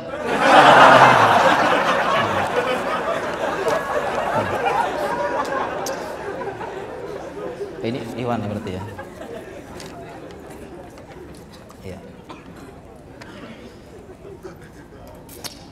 Ya, assalamualaikum Ustadz. Uh, saya sudah berpisah. Ana udah berpisah dengan istri Ana. Ana punya anak, ikut mamanya. Alhamdulillah, Ana nafkahi anak-anak ya masalah dia menafkahi masalah bertanggung jawab ya luar biasa ya sekarang mantan istri Ana sudah menikah lagi apakah saya Ana wajib menafkahi berarti ini terkait dengan fikih menikah fikih hadonah terkait dengan fikih hadonah yaitu hak anak asuh ringkasnya seperti ini memang ada ikhtilaf dari antara ulama hak anak asuh tetapi kalau anak berumur di bawah 2 tahun masih persusuan ibunya, apa pun keadaannya ibunya yang berhak mengasuh anak tersebut. Kalau di bawah 2 tahun, apa pun keadaannya. Ya.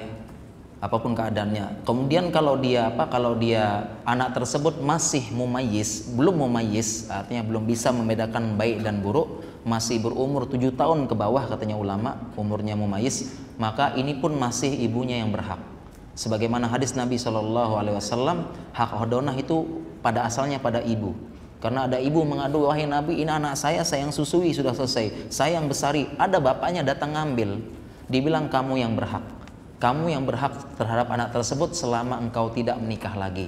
Sehingga kalau dia sudah menikah istrinya maka hak hadonah dalam Islam ada pada suaminya. Suaminya bisa mengambil. Suaminya bisa mengambil. Kalau istrinya menikah lagi. Ya kalau istrinya menikah lagi apa pun keadaannya ya suami punya hak mengambil. Karena itu anaknya dia bukan anak ibunya dinisbatkan kepada bapaknya nisbatkan kepada bapaknya. Itu anaknya dia. Oleh karena anaknya dia dia wajib nafkahi apa pun keadaannya sampai besar.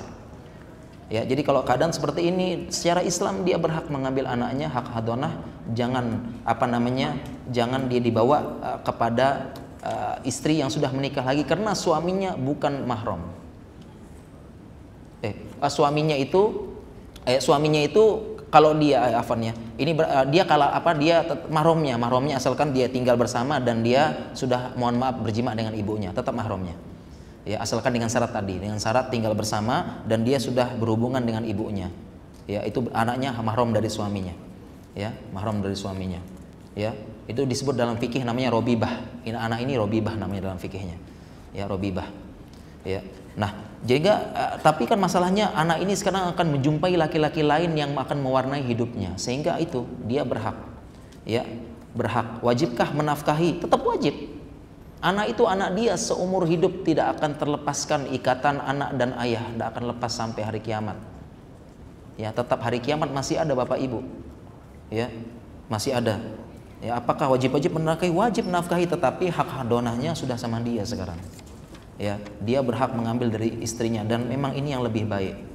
Lebih baik ya supaya dia tidak apa namanya belum tentu ayah tirinya sayang sebagaimana sayangnya dengan dia.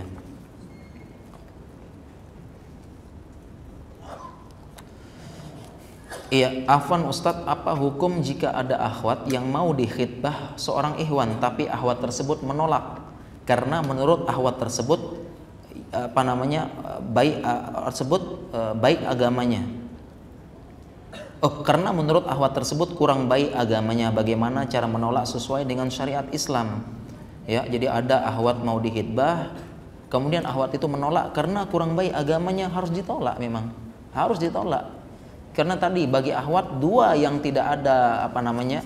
Dua yang tidak ada tawar menawar lagi yang harus ada yaitu agama dan ahlaknya karena dia akan menjadi pemimpin imam. Dan perempuan ini dalam hadis dijelas istri dalam hadis dikiaskan. Ini ingat ya dikiaskan dengan tawanan. Ittaqillaha fanisa fa innahunna awanum bainakum bainakum. Bertakwalah kalian menjaga perempuan. Sesungguhnya perempuan adalah tawanan di antara kalian. Dibuat permisalan seperti tawanan. Maksudnya apa? Sekali perempuan terikat sus sangat susah lepasnya sangat susah lepasnya sangat susah lepasnya dan repot Beda laki-laki, beda laki-laki.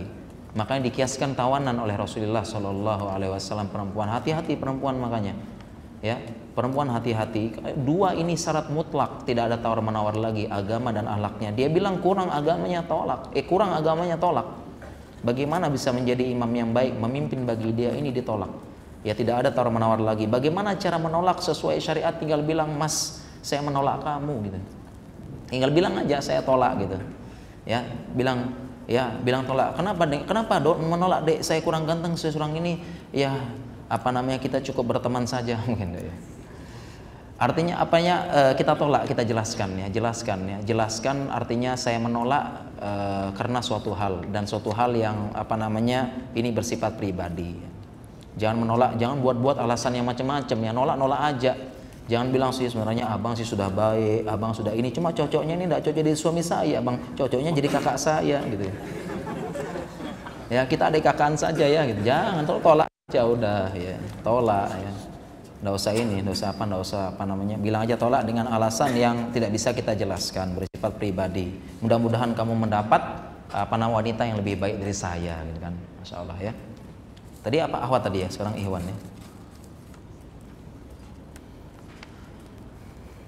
Iya Ustadz, kalau mandul dan tidak punya keturunan boleh adopsi. Apa hukumnya? Jawabannya boleh ya, kita boleh adopsi, boleh boleh adopsi, boleh mengangkat anak. Ini boleh hukumnya. Boleh. Apalagi anaknya adopsinya adopsi anak yatim mendapatkan keutamaan dekat dengan Rasulullah Shallallahu alaihi wasallam di surga. Apalagi dia mengadopsi anak yatim. Ya, dia boleh. Jadi dia ini apa namanya? dia eh, boleh mengadopsi anak, tetapi perlu diperhatikan kalau mengadopsi anak pertama syarat yang pertama tidak boleh dinis, tidak boleh dinisbatkan kepada dia, ya tidak boleh dijadikan ya namanya misalnya namanya siapa ya eh, namanya dia Muhammad kemudian ini namanya eh, Salman tidak boleh bilangnya Salman bin Muhammad tidak boleh ya tidak boleh dinisbatkan ya karena Allah sudah berfirman, "Ud'uhum li abaihim huwa aqsatu indallah." Panggil dia dengan nama bapak-bapak mereka, ini lebih adil di sisi Allah. Dan Islam mengharamkan ayat ini mengharamkan anak angkat yang didisbatkan kepada dia. Kemudian syarat yang kedua yang perlu diperhatikan dalam adopsi, perhatikan kemahroman. Perhatikan kemahroman. Jangan sampai dia tidak ada hubungan mahram sama sekali. Ya, harus ada hubungan mahram. Ya, solusinya adalah yang pertama, ya kita bisa adopsi anaknya keluarga. Kalau kita pengen ngadopsi anak laki-laki, ya berarti ambil dari keluarga istri, sehingga anak laki-laki ini masih mahram dengan istri sampai dewasa. Kalau ingin adopsi anak perempuan, ngambil dari keluarga suami sehingga sampai besar masih mahram dengan suaminya.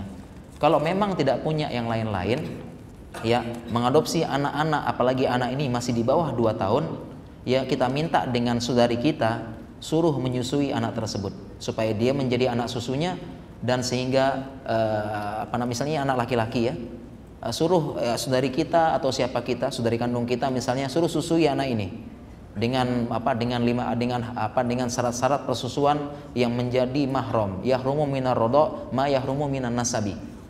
Ya misalnya ini anak laki-laki bukan siapa-siapa bukan keluar minta saudarinya dari istri kita susui sampai memenuhi syarat rodoah sehingga sehingga adik kita ini, saudari kita ini menjadi ibu susunya, istrinya, istri kita menjadi bibi sisunya dan mahram.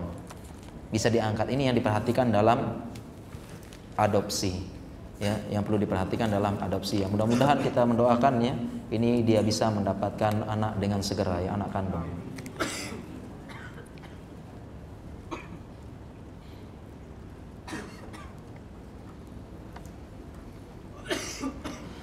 Iya, uh, mau nanya, Ustadz mau nanya, kan sekarang banyak ta'aruf online. Masya Allah, apa-apa serba online ini. Masya Allah ya. asal jangan di download aja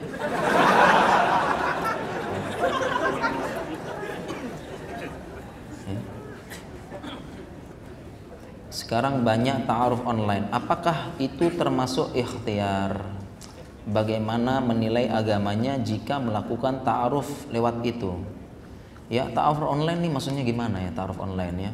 Artinya kalau sekedar apa eh, membuat forum ya membuat grup ya kemudian ada di situ orang yang apa yang memilih apa yang istilahnya pak comlangnya dan mak comlangnya ada yang dia mengontrol mengatur ada biodata masuk kemudian dia sesuaikan ya dia sesuaikan ini biodata A masuk cari kriteria kriteria ini biodata yang laki-laki masuk kriterianya ternyata cocok kemudian dihubungkan secara online dulu ya. Kemudian tukar-tukaran CV cocok apa enggak kemudian setelah itu dilanjutkan dengan nazor di tempat uh, uh, uh, nazornya berarti offline. Nah, taarufnya online nazornya harus offline. Ya nazornya harus offline. Kenapa? Karena sangat tidak disarankan nazor dengan foto. Jangan disaran tidak disarankan nazor dengan foto ini hukumnya hukumnya apa Ustaz? Boleh tetapi sangat tidak disarankan. Ya nazor dengan foto. Ya pas lihat fotonya masya Allah ya pas ketemu astagfirullah. Ah, ini tidak disarankan. Ya nazar dengan foto. Ya boleh katanya ulama boleh. Kalau jaraknya jauh tapi jangan. Nazar dengan foto jangan. Ya apalagi ini fotonya kan bisa di save ya. Bisa di save kan? Bisa di save ya. Bisa di save akhirnya nanti apa namanya dia karena sekarang di dunia maya ini ada namanya ihwan ahlun nazar wa ta'aruf. Iya. Ada nih ikhwan ini. Ikhwan masih berkeliaran di dunia maya ini. Saya tahu beberapa oknumnya nih dapat laporan. Ada ikhwan ini ahlun nazar wa ta'aruf. Gimana caranya ngajak ahwat ta'aruf tapi banyak orang? Dan ternyata setelah buka-buka uh, ininya buka-buka apa namanya buka-buka di kamar kosnya ternyata berderet foto-foto ahwat ya banyak berderet foto ahwat tinggal ini sembilan setengah tujuh enam setengah delapan. Oh Allah. Ya di foto tinggal dipilih. Ya ini ada namanya ikhwan ahlun nazar wa ta'aruf. Ya ngajak tahruf ahwat sana sini sana sini. Semua diajak semua di inbox dan sebagainya. Minta foto minta foto. Tapi cuma sekedar untuk membanding-bandingkan dan tidak serius. Mempermainkan. Atau pengen nyari yang cantik banget sehingga dia koleksi semuanya dulu ya koleksi semua dulu. Gimana ahi jadi maju? Ndak afan sementara saat ada ini sedang lobby orang tua padahal sedang ngumpulin foto ahwat yang banyak. Hmm. Ya ada foto ahwat yang banyak ya. Jadi jangan sampai ya jangan sasaran tidak saran ya. Apalagi sekarang kan gampang tinggal di forward tinggal di forward fotonya gampang ya. Fotonya forward dan sebagainya. Bahkan jadi permainan para laki-laki nanti ya fotonya menyebar dan ahwatnya laki-laki yang lihat tuh oh ternyata akun itu ahwat fotonya ini tuh dia simpen dia simpen malamnya baru dia buka murojaah hmm, baru iya dilihat-lihat terus dinikmati di zoom zoom di zoom zoom ya, jerawatan. Ya. Jangan jangan sampai ikannya sangat tidak disarankan nazor dengan foto. Bolehlah ta'arufnya online di awal tapi kalau nazornya harus apa harus offline kalau nazornya ya. Harus karena kadang foto itu berbeda dengan kenyataan ya bisa kenyataan berbalik positif bisa berbalik negatif karena ini ada kisah nyata ini kisah nyata ya ada kisah nyata ini sedang ta'aruf, sedang ta'aruf ihwannya luar di luar negeri, ahwatnya di ya, di ini. Pertama tukar karena memang sudah bagus ya, bagus. Pertama memang tukaran foto, katanya belum yakin. Oh, kalau gitu Skype, Skype. Nah, akhirnya pakai Skype. Pakai Skype, nazarnya dia Skype ya. Gimana? Pakai foto dia enggak mau. Padahal ini ahwatnya bagus nih. Dan ahwatnya bagus ya, fisik sama ini. Ihwannya juga pakai foto enggak mau, enggak mau. Ya, apalagi yang dikirim fotonya tuh pas foto sekolah. Kan itu kan menjem ini. Pas foto sekolah itu kan tidak ada yang cantik tuh. Ya pas foto sekolah nih kirim kan.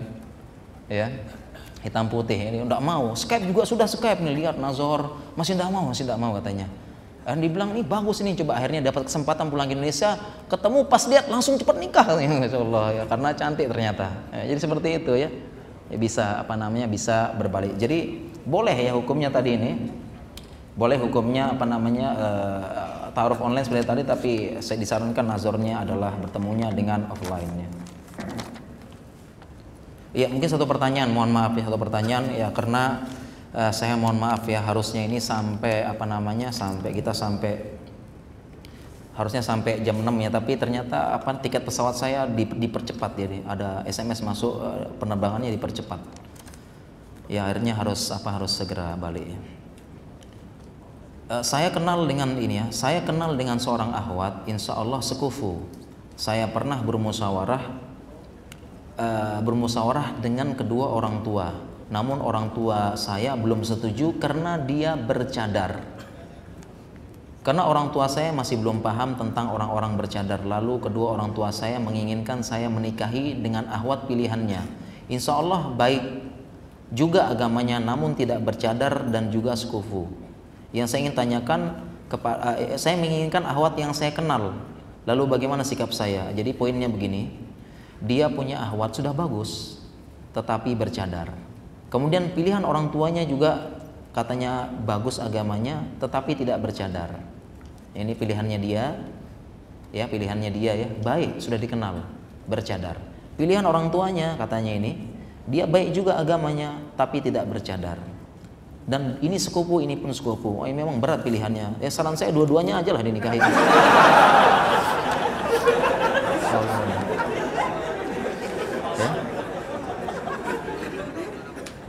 Iya kan? Ya. Bagaimana pilihannya ya? Ya. Iya, kalau kalau mau milih harus satu ya. Kalau harus satu, bagaimana pilihannya? Yang pertama, yang pertama keputusan pernikahan ada di tangan uh, orang tersebut. Ya, orang tua tidak boleh memaksa. Pernikahan apa keputusan ada di tangan uh, laki-laki tersebut sehingga orang ter, orang tua tidak boleh memaksa. Orang tua hanya bisa apa memberikan pilihan. Dan dalam dalam syariat Islam tidak boleh dipaksa karena yang menjalani pernikahan adalah orang tersebut, bukan orang tuanya. Ya, yang menjalani pernikahan orang tersebut. Ya, sehingga dalam syariat tidak boleh orang tua memaksakan sedikit pun ya kepada ini. Ya, tidak boleh. Nah, sekarang masalahnya bercadar atau tidak bercadar. Ya, yang pertama sekarang ya, pertama sekarang kita usahakan kalau kita istri cal, kalau istri kita setelah menikah bercadar. Ya, setelah dia bercadar. Kemudian setelah menikah kita usahakan sebagai mungkin sebagaimana mungkin jangan membuka cadarnya. Karena kita kita tidak tahu perjuangan ya, perjuangan istri kita bercadar, perjuangannya berat. Perjuangannya berat dan sebagainya. Dia berat itu bercadar itu. Perjuangannya benar-benar berat melaksanakan sunnah Nabi Shallallahu Alaihi Wasallam cadar adalah puncak kemuliaan wanita. Ini berat ini. Perjuangannya berat.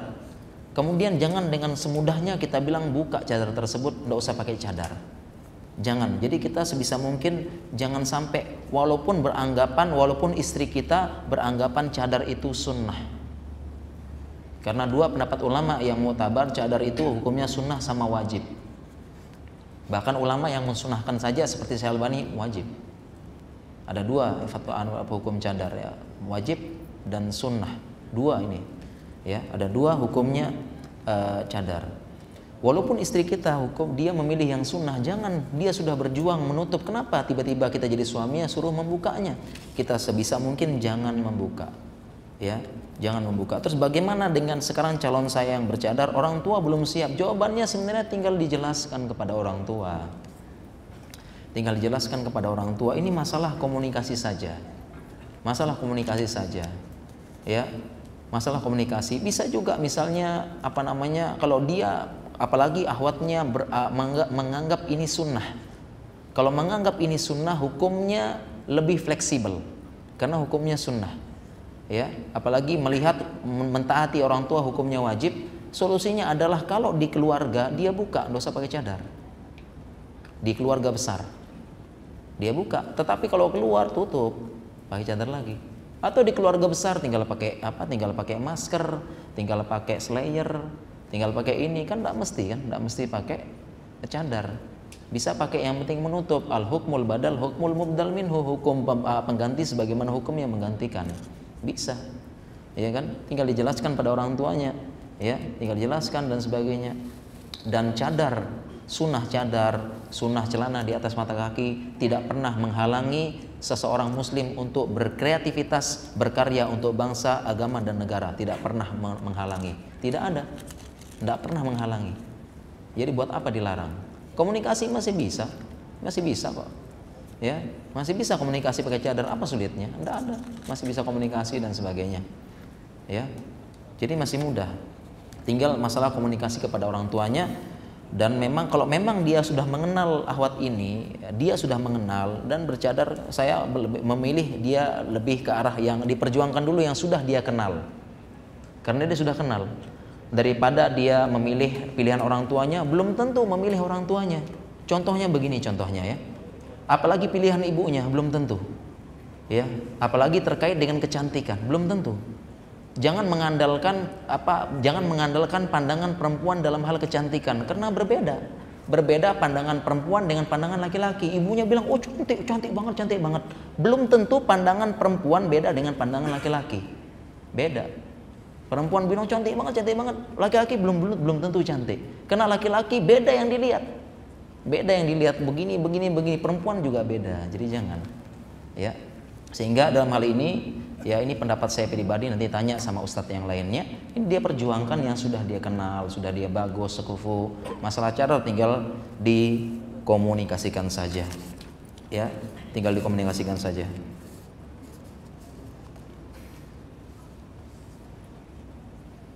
Iya, mungkin ini aja yang bisa kami sampaikan ya, kurang lebihnya mohon maaf ya.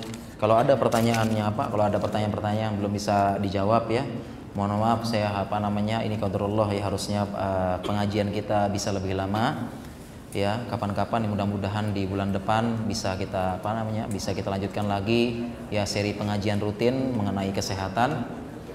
Ya mungkin demikian yang bisa kami sampaikan. Kurang lebihnya saya mohon maaf ya ada perkataan saya yang menyinggung teman-teman sekalian yang menyinggung Ikhwan dan Ahwat sekalian ya ada kata-kata yang tidak sengaja. Ini kurang lebihnya saya benar-benar mohon maaf dan mohon diikhlaskan ya kita cukupkan sampai di sini dan kita berdoa kepada Allah Subhanahu wa taala ya semoga ya para pemuda kita benar-benar bisa mempersiapkan uh, pernikahannya dengan ilmu mental dan uh, maisah yang cukup dan mudah-mudahan mendapatkan jodoh yang terbaik dan mudah-mudahan bisa mempersegerakan pernikahan dan mendapatkan anak-anak yang soleh dan soleha mendoakan orang tuanya dan bisa masuk surga sekeluarga tanpa hisab dan tanpa azab. Subhanakallahumma wa bihamdika asyhadu an la ilaha illa anta astaghfiruka wa atubu ilaik. Wassalamualaikum warahmatullahi wabarakatuh.